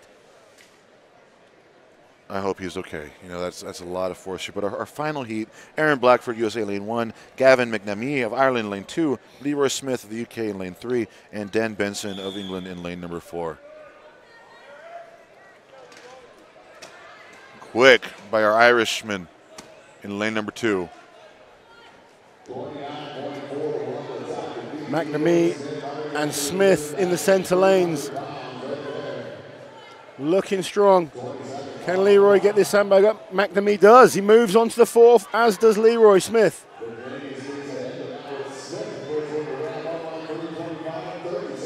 Smith has good positioning compared to McNamee. 10 seconds remain. It's now or never, guys. Got to drive those hips forward, thrust that sandbag up. Oh, Cannot do it. It's a huge weight. Good battle. wow. For our, our final heat of athletes, none of them got that last bag. We saw some stellar the points around a little bit. Yeah. Make things interesting to decide who is the top 10 going into our final three events. We'll be back to bring you all the results officially once all our heats are done, I believe. We have our men's 105 kilo class coming out next. We are going to lose our lightest bag and gain an even heavier bag at the end of the series. So, how many? I think we had three or four athletes manage the, the 325. Now we're moving up to the 350. wow, This is big. Big bag. 350 is like Martins at Rogue last weekend. The yeah. biggest Martins we've ever seen. He weighed Yeah, in at uh, uh, 355. big Martins. Here's our men's under 90 kilo scores. Tyler Davis with four bags in 29.41 seconds. Um, Quite a spread ahead of Ahipin with four bags in 36.98 seconds. Derek Owens, that roar of satisfaction after he was done. Four bags in 41.34 seconds for a third place. And Andrew Pepiot with only one second to spare, getting the four bags in 43.99 seconds. But look at Mike Dell in the nick of time, 0.09 seconds away from that time cap. securing a fifth place finish with all four bags in 44.91 seconds. Right in the nick of time. All right, and our sandbag to shoulder ladder left. But he is showing consistency and power through every event at every turn.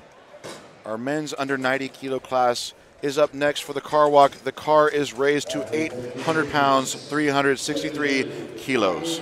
In heat number one, Sean Pope in lane one and Dan Benson lane two. Canada versus England.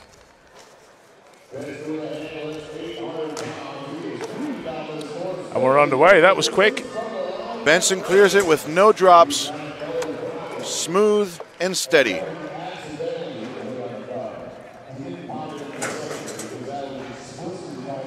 Sean Pope not finding the running so easy at the moment. And uh, perhaps he's uh, picked this up just a little too high. He's almost driving into it and forward every time he stands up with it. It's uh, it's not going up, but directly forward. Has he got an injury or is it just uh, incorrect form? You know, I'm guessing that he's just so blasted he is resulting to a technique of just pick up and lunge, hoping for every last bit of distance he can possibly get out of this car walk. You know, I have been there before, and that comes from a point of realizing that you just don't have the ability to go. So it is a last ditch effort, but I tell you what, Colin, he's going to take some negative strain away from those repetitive picks going into the circus dumbbell and, of course, the Atlas stones. Yes, that's a good point. Sometimes uh, it might just be better just to get a, a few inches and, and expect the others to finish and maybe take away a little energy for the next event. But it's easier said than done when you are the first heat to go, not knowing what performances are to follow you. Very well said indeed. Dan Benson finishes with a time of 11.87 seconds, our current event leader, but I know that won't stand for long. Heat number two, the defending champion, Nikolai Myers of the USA in lane one, Leroy Smith of the UK in lane number two.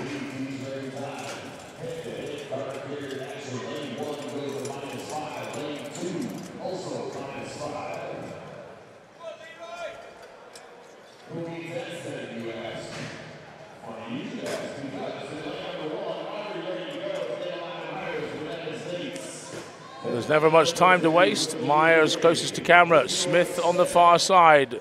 They are asked to get set, and we're almost underway.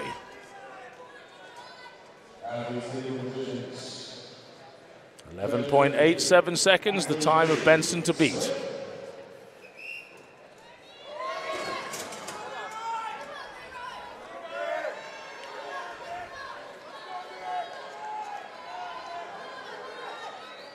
Myers steadily through. The defending champ, no drops, clears the course. Might not be as fast as Benson's time, but he gets it done.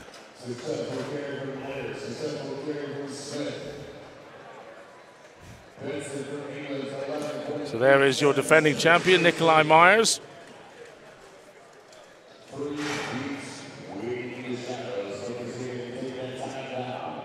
I'd love to hear what he's got to say. Me too. He is, you know, riding a, a successful carry there with a time of 13.24 seconds, currently putting him in second on this event behind Dan Benson. Might I add that uh, the camera he was talking to there, it's uh, Joe Schofield, and those who follow officialstrongman.com will know Joe is one of the uh, lead uh, creatives and editors on the channel, and uh, you'll no doubt enjoy his uh, film post-produced after this later on sometime this week or next, and you'll be able to hear exactly what he said as we see a replay there. Smith of England. Now, would you wear such a big chain around your neck if you're about to super yoke? I would not. I'd make sure that neck was nice and clear, but it might be a good luck charm, and this is the final. Luck Yes. is key. Indeed, as uh, we have uh, Gavin McNamee of Ireland against Cameron Peters of the USA. McNamee finishes fast with Peters trailing behind.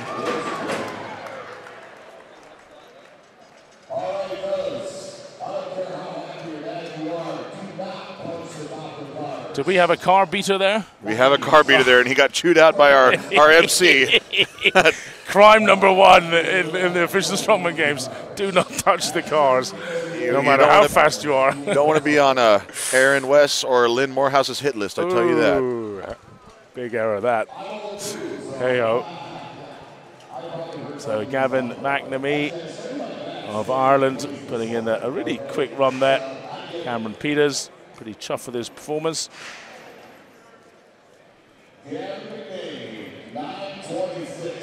Our new leader, Gavin McNamee from Ireland, 9.2 seconds, I believe, is his time.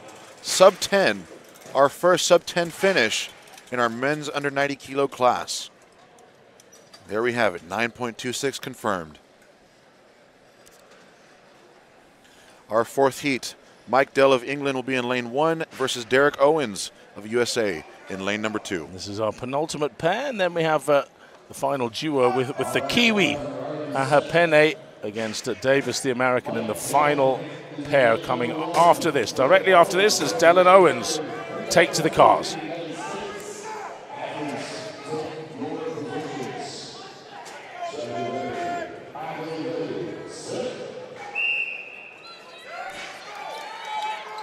Underway, and it's uh, all even Stevens at the moment coming up to the halfway mark. Call this one, would you? We have Gabriel. Owens starting to accelerate, but with the drop, Dell takes the window of opportunity, closing the distance. Smooth and steady, he does it. Slowly, slowly, catchy monkey, and uh, it is Dell who manages to get over the line with a, a very slow and steady approach. Owens overstriding a little bit in the middle, trying to get away, perhaps. Is that what caused the, the drop? Perhaps, but you know, he is still happy about that performance, exiting the car with a smile on his face. You know, Colin, any day you get to carry a car on your back and do it successfully, I think that's a pretty good day. Something to feel powerful about. Absolutely. Now, tell me, what, what's what's the list of sins physically? Is it is it is it overstriding? Is it is it having too high a pickup at the start? I guess there's a, a, a catalogue of things that could cause problems. There's a catalog of things that could cause problems, but let's start from the ground up. I think footwear would be one of the biggest hmm. factors here. If you're wearing a shoe that is squishy underneath you and you've got 800 pounds on your back plus your body weight, at a point hmm. you have a thousand pounds of force on one leg in between each step. You got a squishy sole, that could rock you back and forth beyond your control. But who knows what went wrong with Derek there? I think you might might be right. Actually, it, uh, his uh, shoes just seem to be squishing a little bit. In fact, both men choosing sneakers over a, a harder sole. I prefer a hiking type shoe or a hiking boot. Just give me that rigidity and support. Something that really is meant to carry us over a long duration with possible equipment. Seems to favor me well on yoke. But we move on to our final heat. Ngarimu Ahipene of New Zealand up against Tyler Davis of the USA. And it's the 2019 champion, the lineal champion, if you like. He never lost his title. The New Zealander, closest to camera. There he goes, picking up a distance. And I think we have a finish in first by our lane number one. We'll have to get a confirmation there. Uh, that was so close. Davis was making the running, but Ahipene was charging fast at the end there. And you, I think you might be right. McNamee will still have that sub 10 second run that I believe will keep him as the event leader. Of course, New Zealand having such strict COVID laws.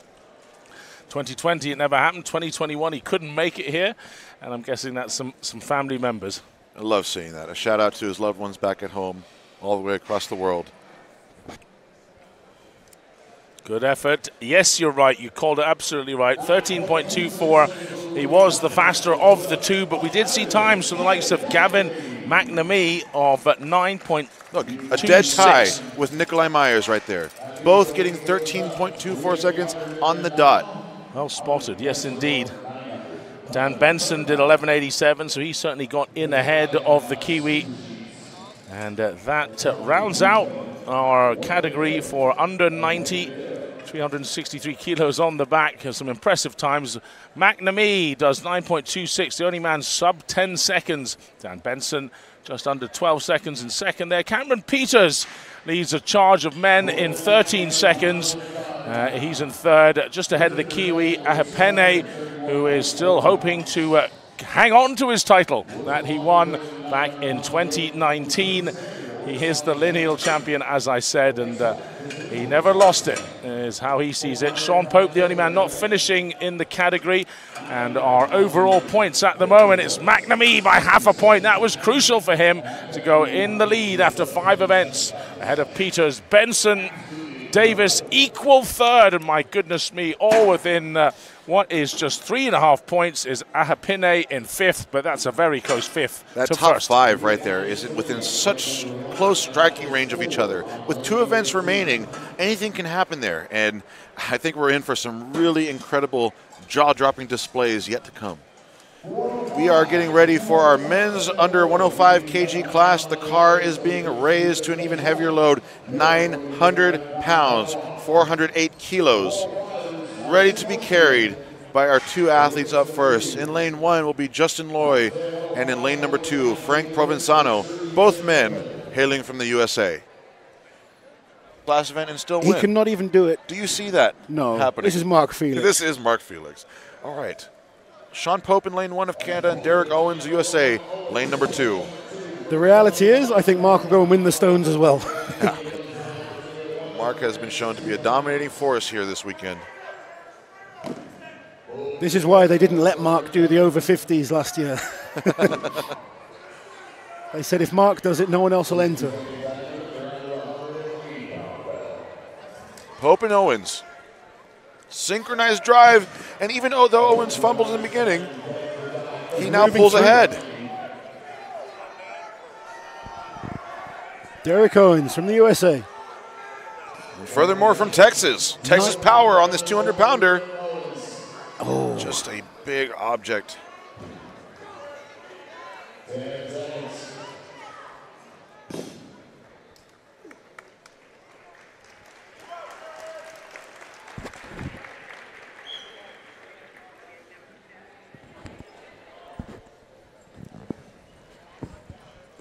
Our next heat will be Mike Dell of England in lane one and Leroy Smith of the UK in lane number two. Got another epic matchup of England versus UK. We've had a few of these this weekend. I wonder if it just comes down to filling out a form. And some people just say they're from the UK, some people say they're from England. I'm imagining that's what it is.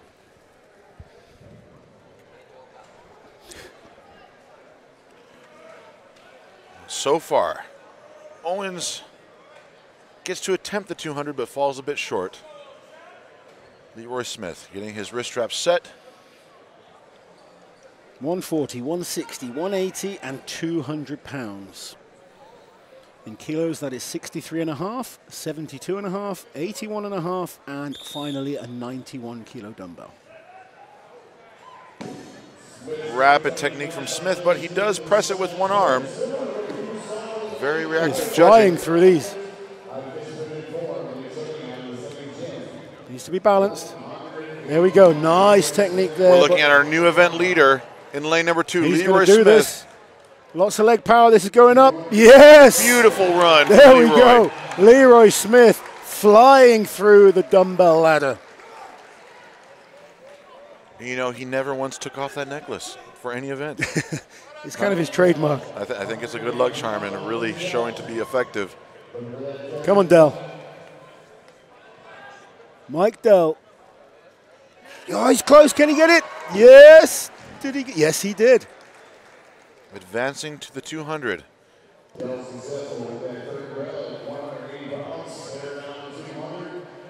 think time is about to escape. That's it. Leroy Smith finishes so fast. He 23.94 for all four dumbbells. incredible. One dumbbell almost every six seconds. And what a pace. And when we talk about dumbbell pressers, we have an incredible dumbbell presser coming up now. Nikolai Myers, Uncle Nick, the record holder in the under 90 kilo class. And Grimu, or let's see, this is Tyler Davis, I'm sorry. Tyler Davis versus Myers.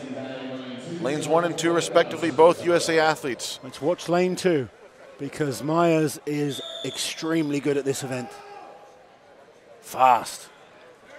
He needs to be quick on the transition. Leroy Smith was so fast on those first few. He's put that pressure on Nikolai.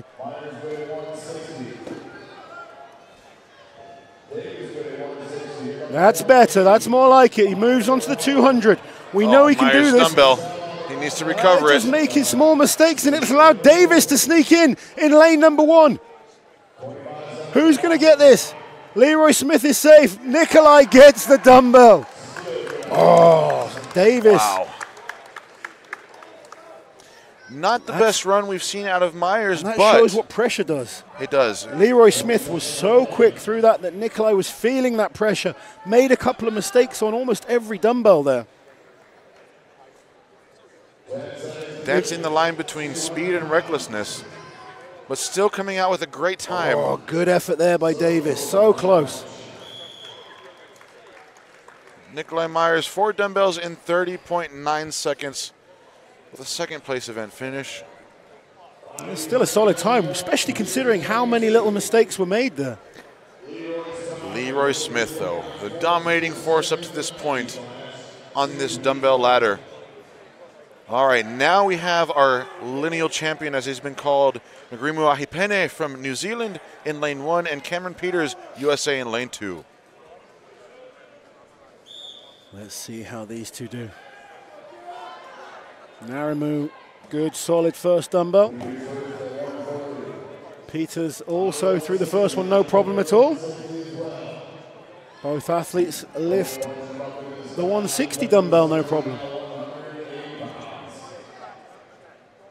Narimu looking so precise and powerful. Technically very efficient. He's not made any mistakes. There Beautiful. we go. Beautiful All run. four. How does that stack up against Leroy's time? We will see.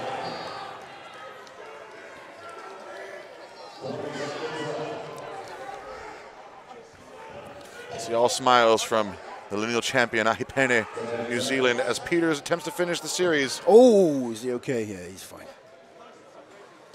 Sometimes the dumbbell can look so much worse than it actually is when it comes down on you like that. It's a big bell.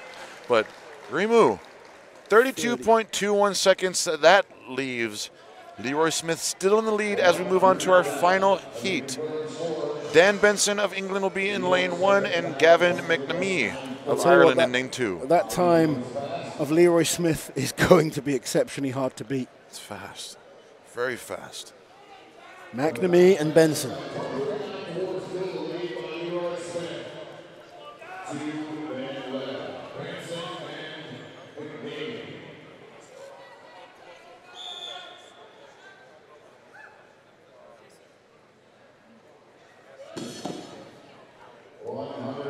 Comes down to who makes the least amount of minor mistakes. Benson looking great, inching ahead. Benson in lane number one.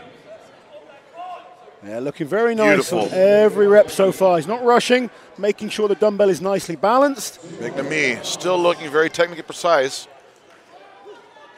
Oh, Benson just couldn't quite lock that out.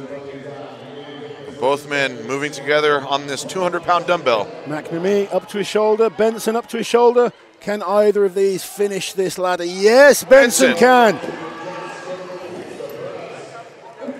And McNamee will leave it there. He knows the stones are up next and he needs to save his strength for it. He's a good stone lifter as well. He's a great deadlifter. But I believe that will leave Leroy Smith's time untouchable as an event leader. We'll get the confirmation shortly.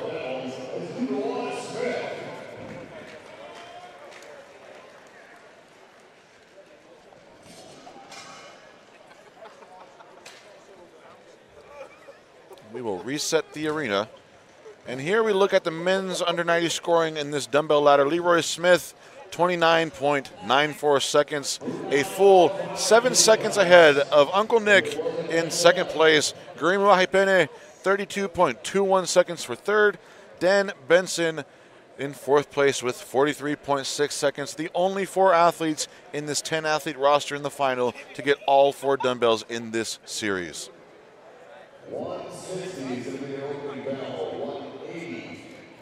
we Wow. are in for an exciting final event. Oh, Laz, tell us about what you see here.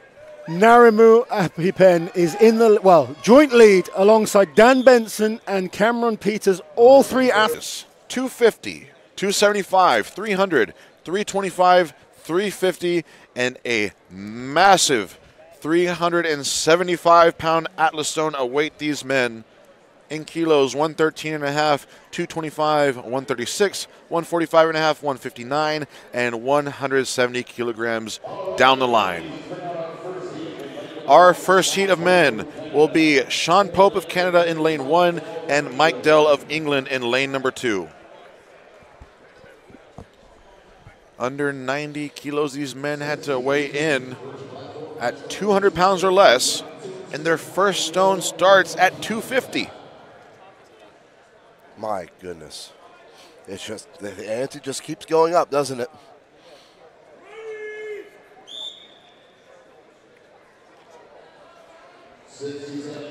Pope versus Dell. Canada versus England. Almost in sync.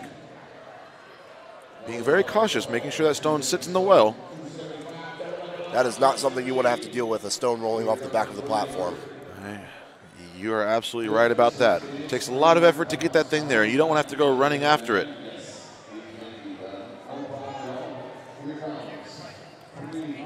It's how cool are these red Atlas stones? Love them.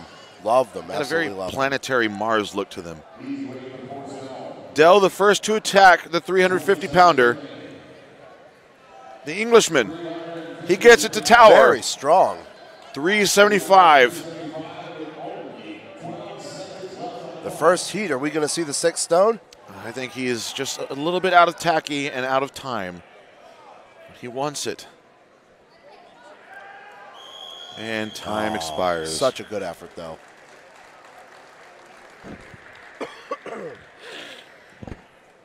Now, I will say, being the first to go on a set of new stones with, the, with a new stone at the very end, this stone has no tacky on it at this point. It is a disadvantage for the athlete, but the price to pay for being the lowest placing up to this point.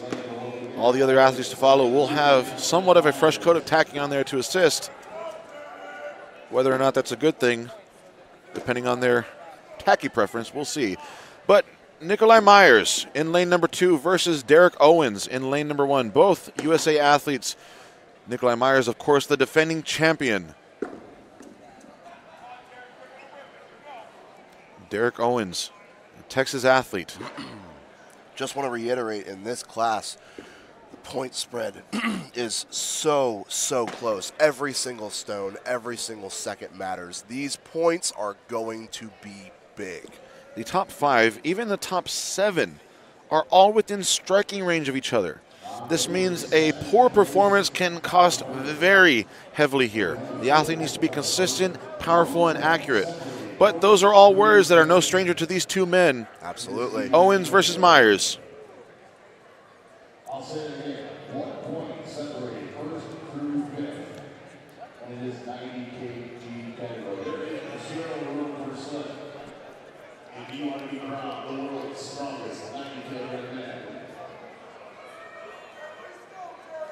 Who wants it more? Who is going to get that top spot? Sprinting to that first stone. Love it. Myers gets there first. Easy one motion by both gentlemen. Myers starting to pull ahead, but not by much.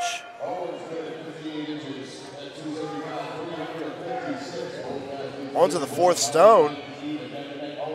Owens. Owens pulling ahead. Myers fast on the return. This is where it's going to really count. Owens. An easy 350 stone. 375 for these two men. Who wants it more? Derek just pulling back a little too quick. Myers to the lap. Myers to the lap. Can he get it? He needs a secure grip. This is a massive object. Nick Myers, and, he, gets, it. The defending champion, the first man to complete the six stone series. 375 pounds for that man. Evan, did you see that bicep he sprouted right out of his beard to help assist on that stone load? It was Ah. truly phenomenal. That the has to be defending the champ. secret. The defending champ. Wow. He's happy about that. And that is a massive, massive stone. Very well may have its own gravitational field, but it is no match for Uncle Nick. Well, we still have three heats remaining. In this next heat will be Leroy Smith. with a lightning fast circus dumbbell performance he is fresh off of, hailing from the UK. And in lane number two, Tyler Davis of the USA. These men are only separated by three points, vying for a podium placing, and more so, the title of World's Strongest Man under 90 kilos. But anything short of a six stone run is going to be less than the points needed to secure those top spots. Absolutely. This is where precision and speed come into it. No mistakes, absolutely no mistakes can be had in this stone run. You need to be strong, you need to be fast, and you need to get all six stones, and you need to do it fast.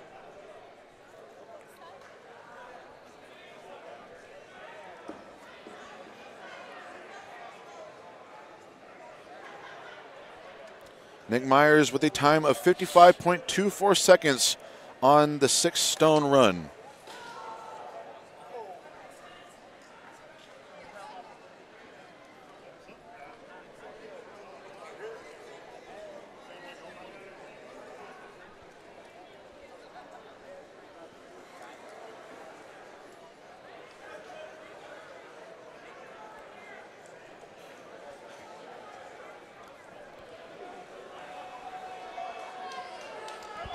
Leroy Smith in pants. I'm hoping they don't get in the way and stick to the stone, but a man who clearly knows what he's doing here. He has made it to the OSG finals.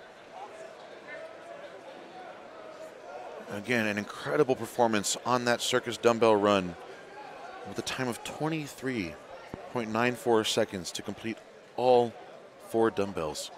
Let's see if that speed will carry over to the stones.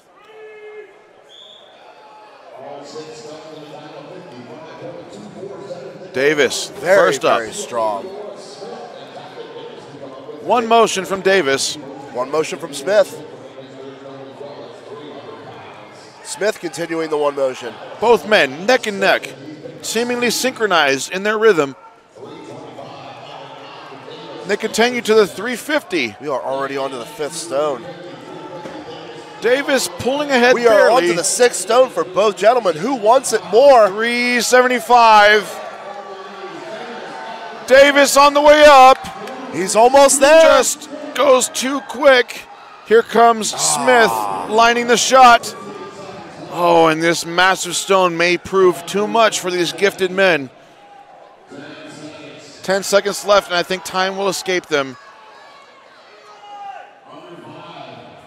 Leroy wants it, but the clock ticks. And Nikolai Myers remains in the lead with a successful six stone run. Absolutely grueling, grueling event this is. Wow. That should really tell you something about how difficult this is under these circumstances. These are the top 10 best athletes in the entire world, and only one man has gotten that last stone. Well, Evan, a 375 pound stone is a stone that we usually find in the middle of a run for us. Yeah, yeah, we're all we're both very familiar with this weighted stone, and guess what? It's not light. It's quite heavy. Quite heavy indeed. Our next heat will be our second to last heat. Gavin McNamee of Ireland in lane number one, and Cameron Peters of the USA in lane number two. Uh, we saw Cameron Peters after the last event kind of hobbling off the field. But hopefully it was just a little strain, and he looks to be standing fine, ready to attack these stones.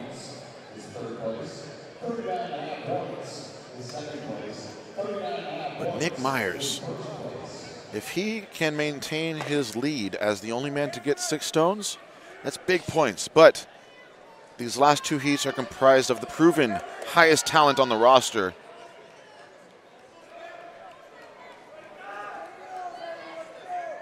McNamee versus Peters. Ireland versus USA. Let's see if we're going to see that six stone loaded again.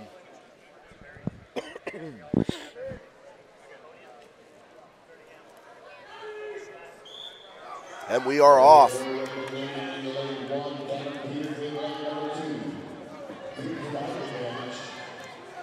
No mistakes on that first stone. No mistakes on the second stone.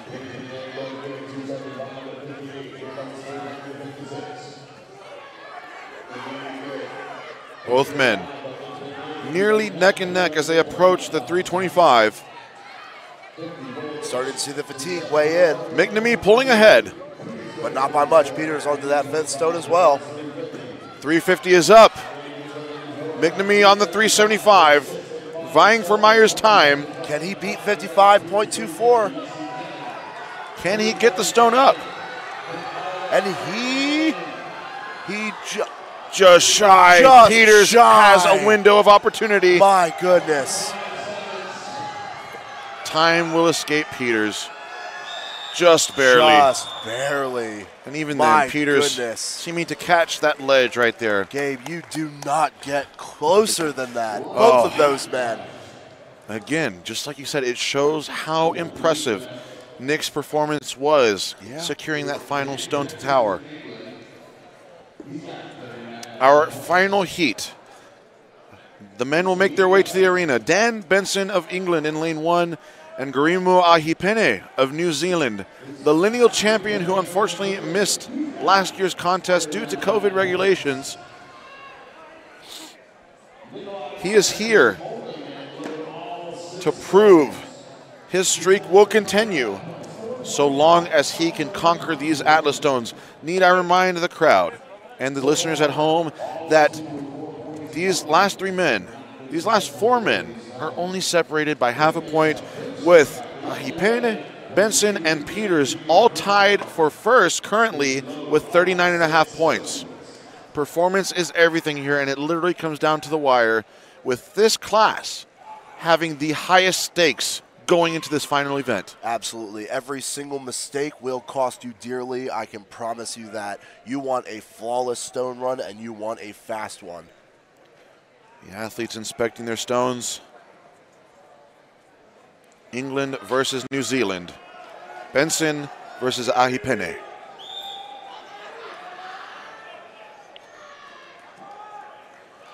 Quick on lane two. He means business. Ready to attack Myers. But Benson is looking strong. See these boots by Ngarimu, giving him a little bit of extra height, but also a longer pick off the ground. Oh no. Oh, Just missing that lip. this is wow. Benson pulls ahead.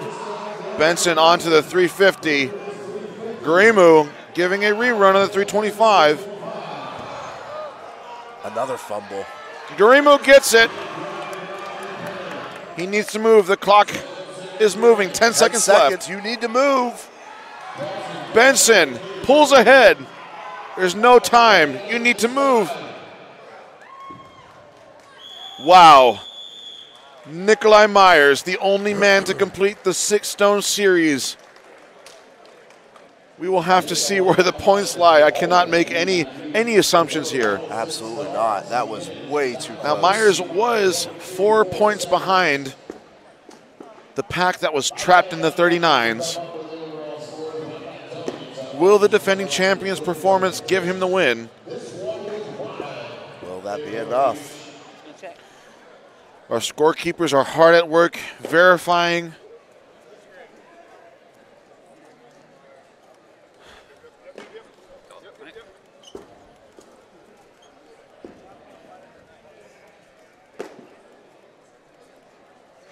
I'm so anxious, Evan. I want to see where I'm these on the points edge of my fall. seat. Who is our podium? I, I really would love to see Myers and his jaw-dropping performance there being the only man to get 375, getting that defending championship and securing the win. We'll have to see. Definitely crushing Fort Ngarimu. That is the perfect scenario to explain that every single point matters. Every single second matters. Every single time that you step onto the platform, you need to give it your all. And here we have it. Tyler Davis, our world's strongest man under 90 kilograms with 47 and a half points. Nikolai Myers Jumping from fifth to second with that still securing a second place finish after the contest is said and done. Half a point ahead of Gavin McNamee, 45 points for a third place finish for Gavin, and Cameron Peters half a point behind McNamee with a fourth place finish. And a shout out to Leroy Smith, only one point behind Peters. And just look at that spread. Just absolutely incredible. It really came down to the wire there. But Tyler Davis, a two point lead over the defending champ. Ooh, man, USA, USA, and Ireland on the podium here at the official Strongman Games. Tyler Davis crowned the strongest man in the world under 90 kilograms. absolutely.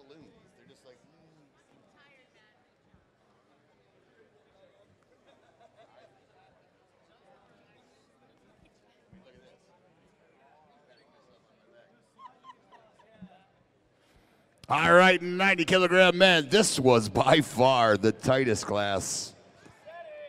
Sixth place to first place before the Stones was separated by one point. And it shows the performances, how the shakeup was, and where we ended up. So without further ado, in 10th place, representing Canada, Sean Pope. In ninth place from England, Mike Dell. In eighth place from the USA, Derek Owens. He still hasn't punched the car. Great guy.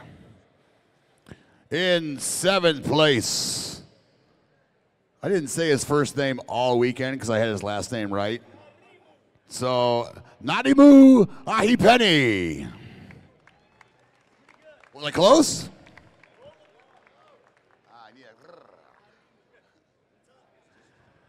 In sixth place, representing England, Dan Benson. In fifth place, from the United Kingdom, Leroy Smith. In fourth place, from the United States, it's Cameron Peters. Getting into the tight points race again in third place from Ireland, Gavin McNamee. Up to the podium, good sir.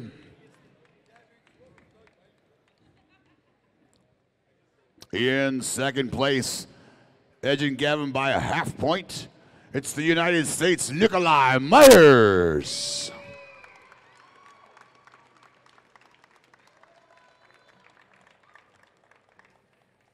And this year's world's strongest man under 90 kilograms, coming from fifth to first with a clutch stone performance. It's the United States, Tyler Davis.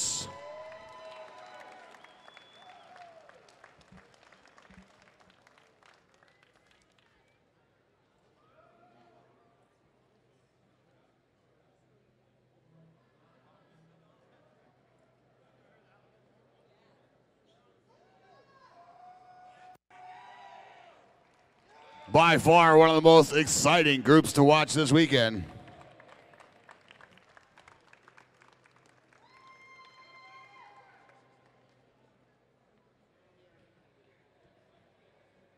All right, your U90 class. Come on out, 105s. 105 men's, come on down.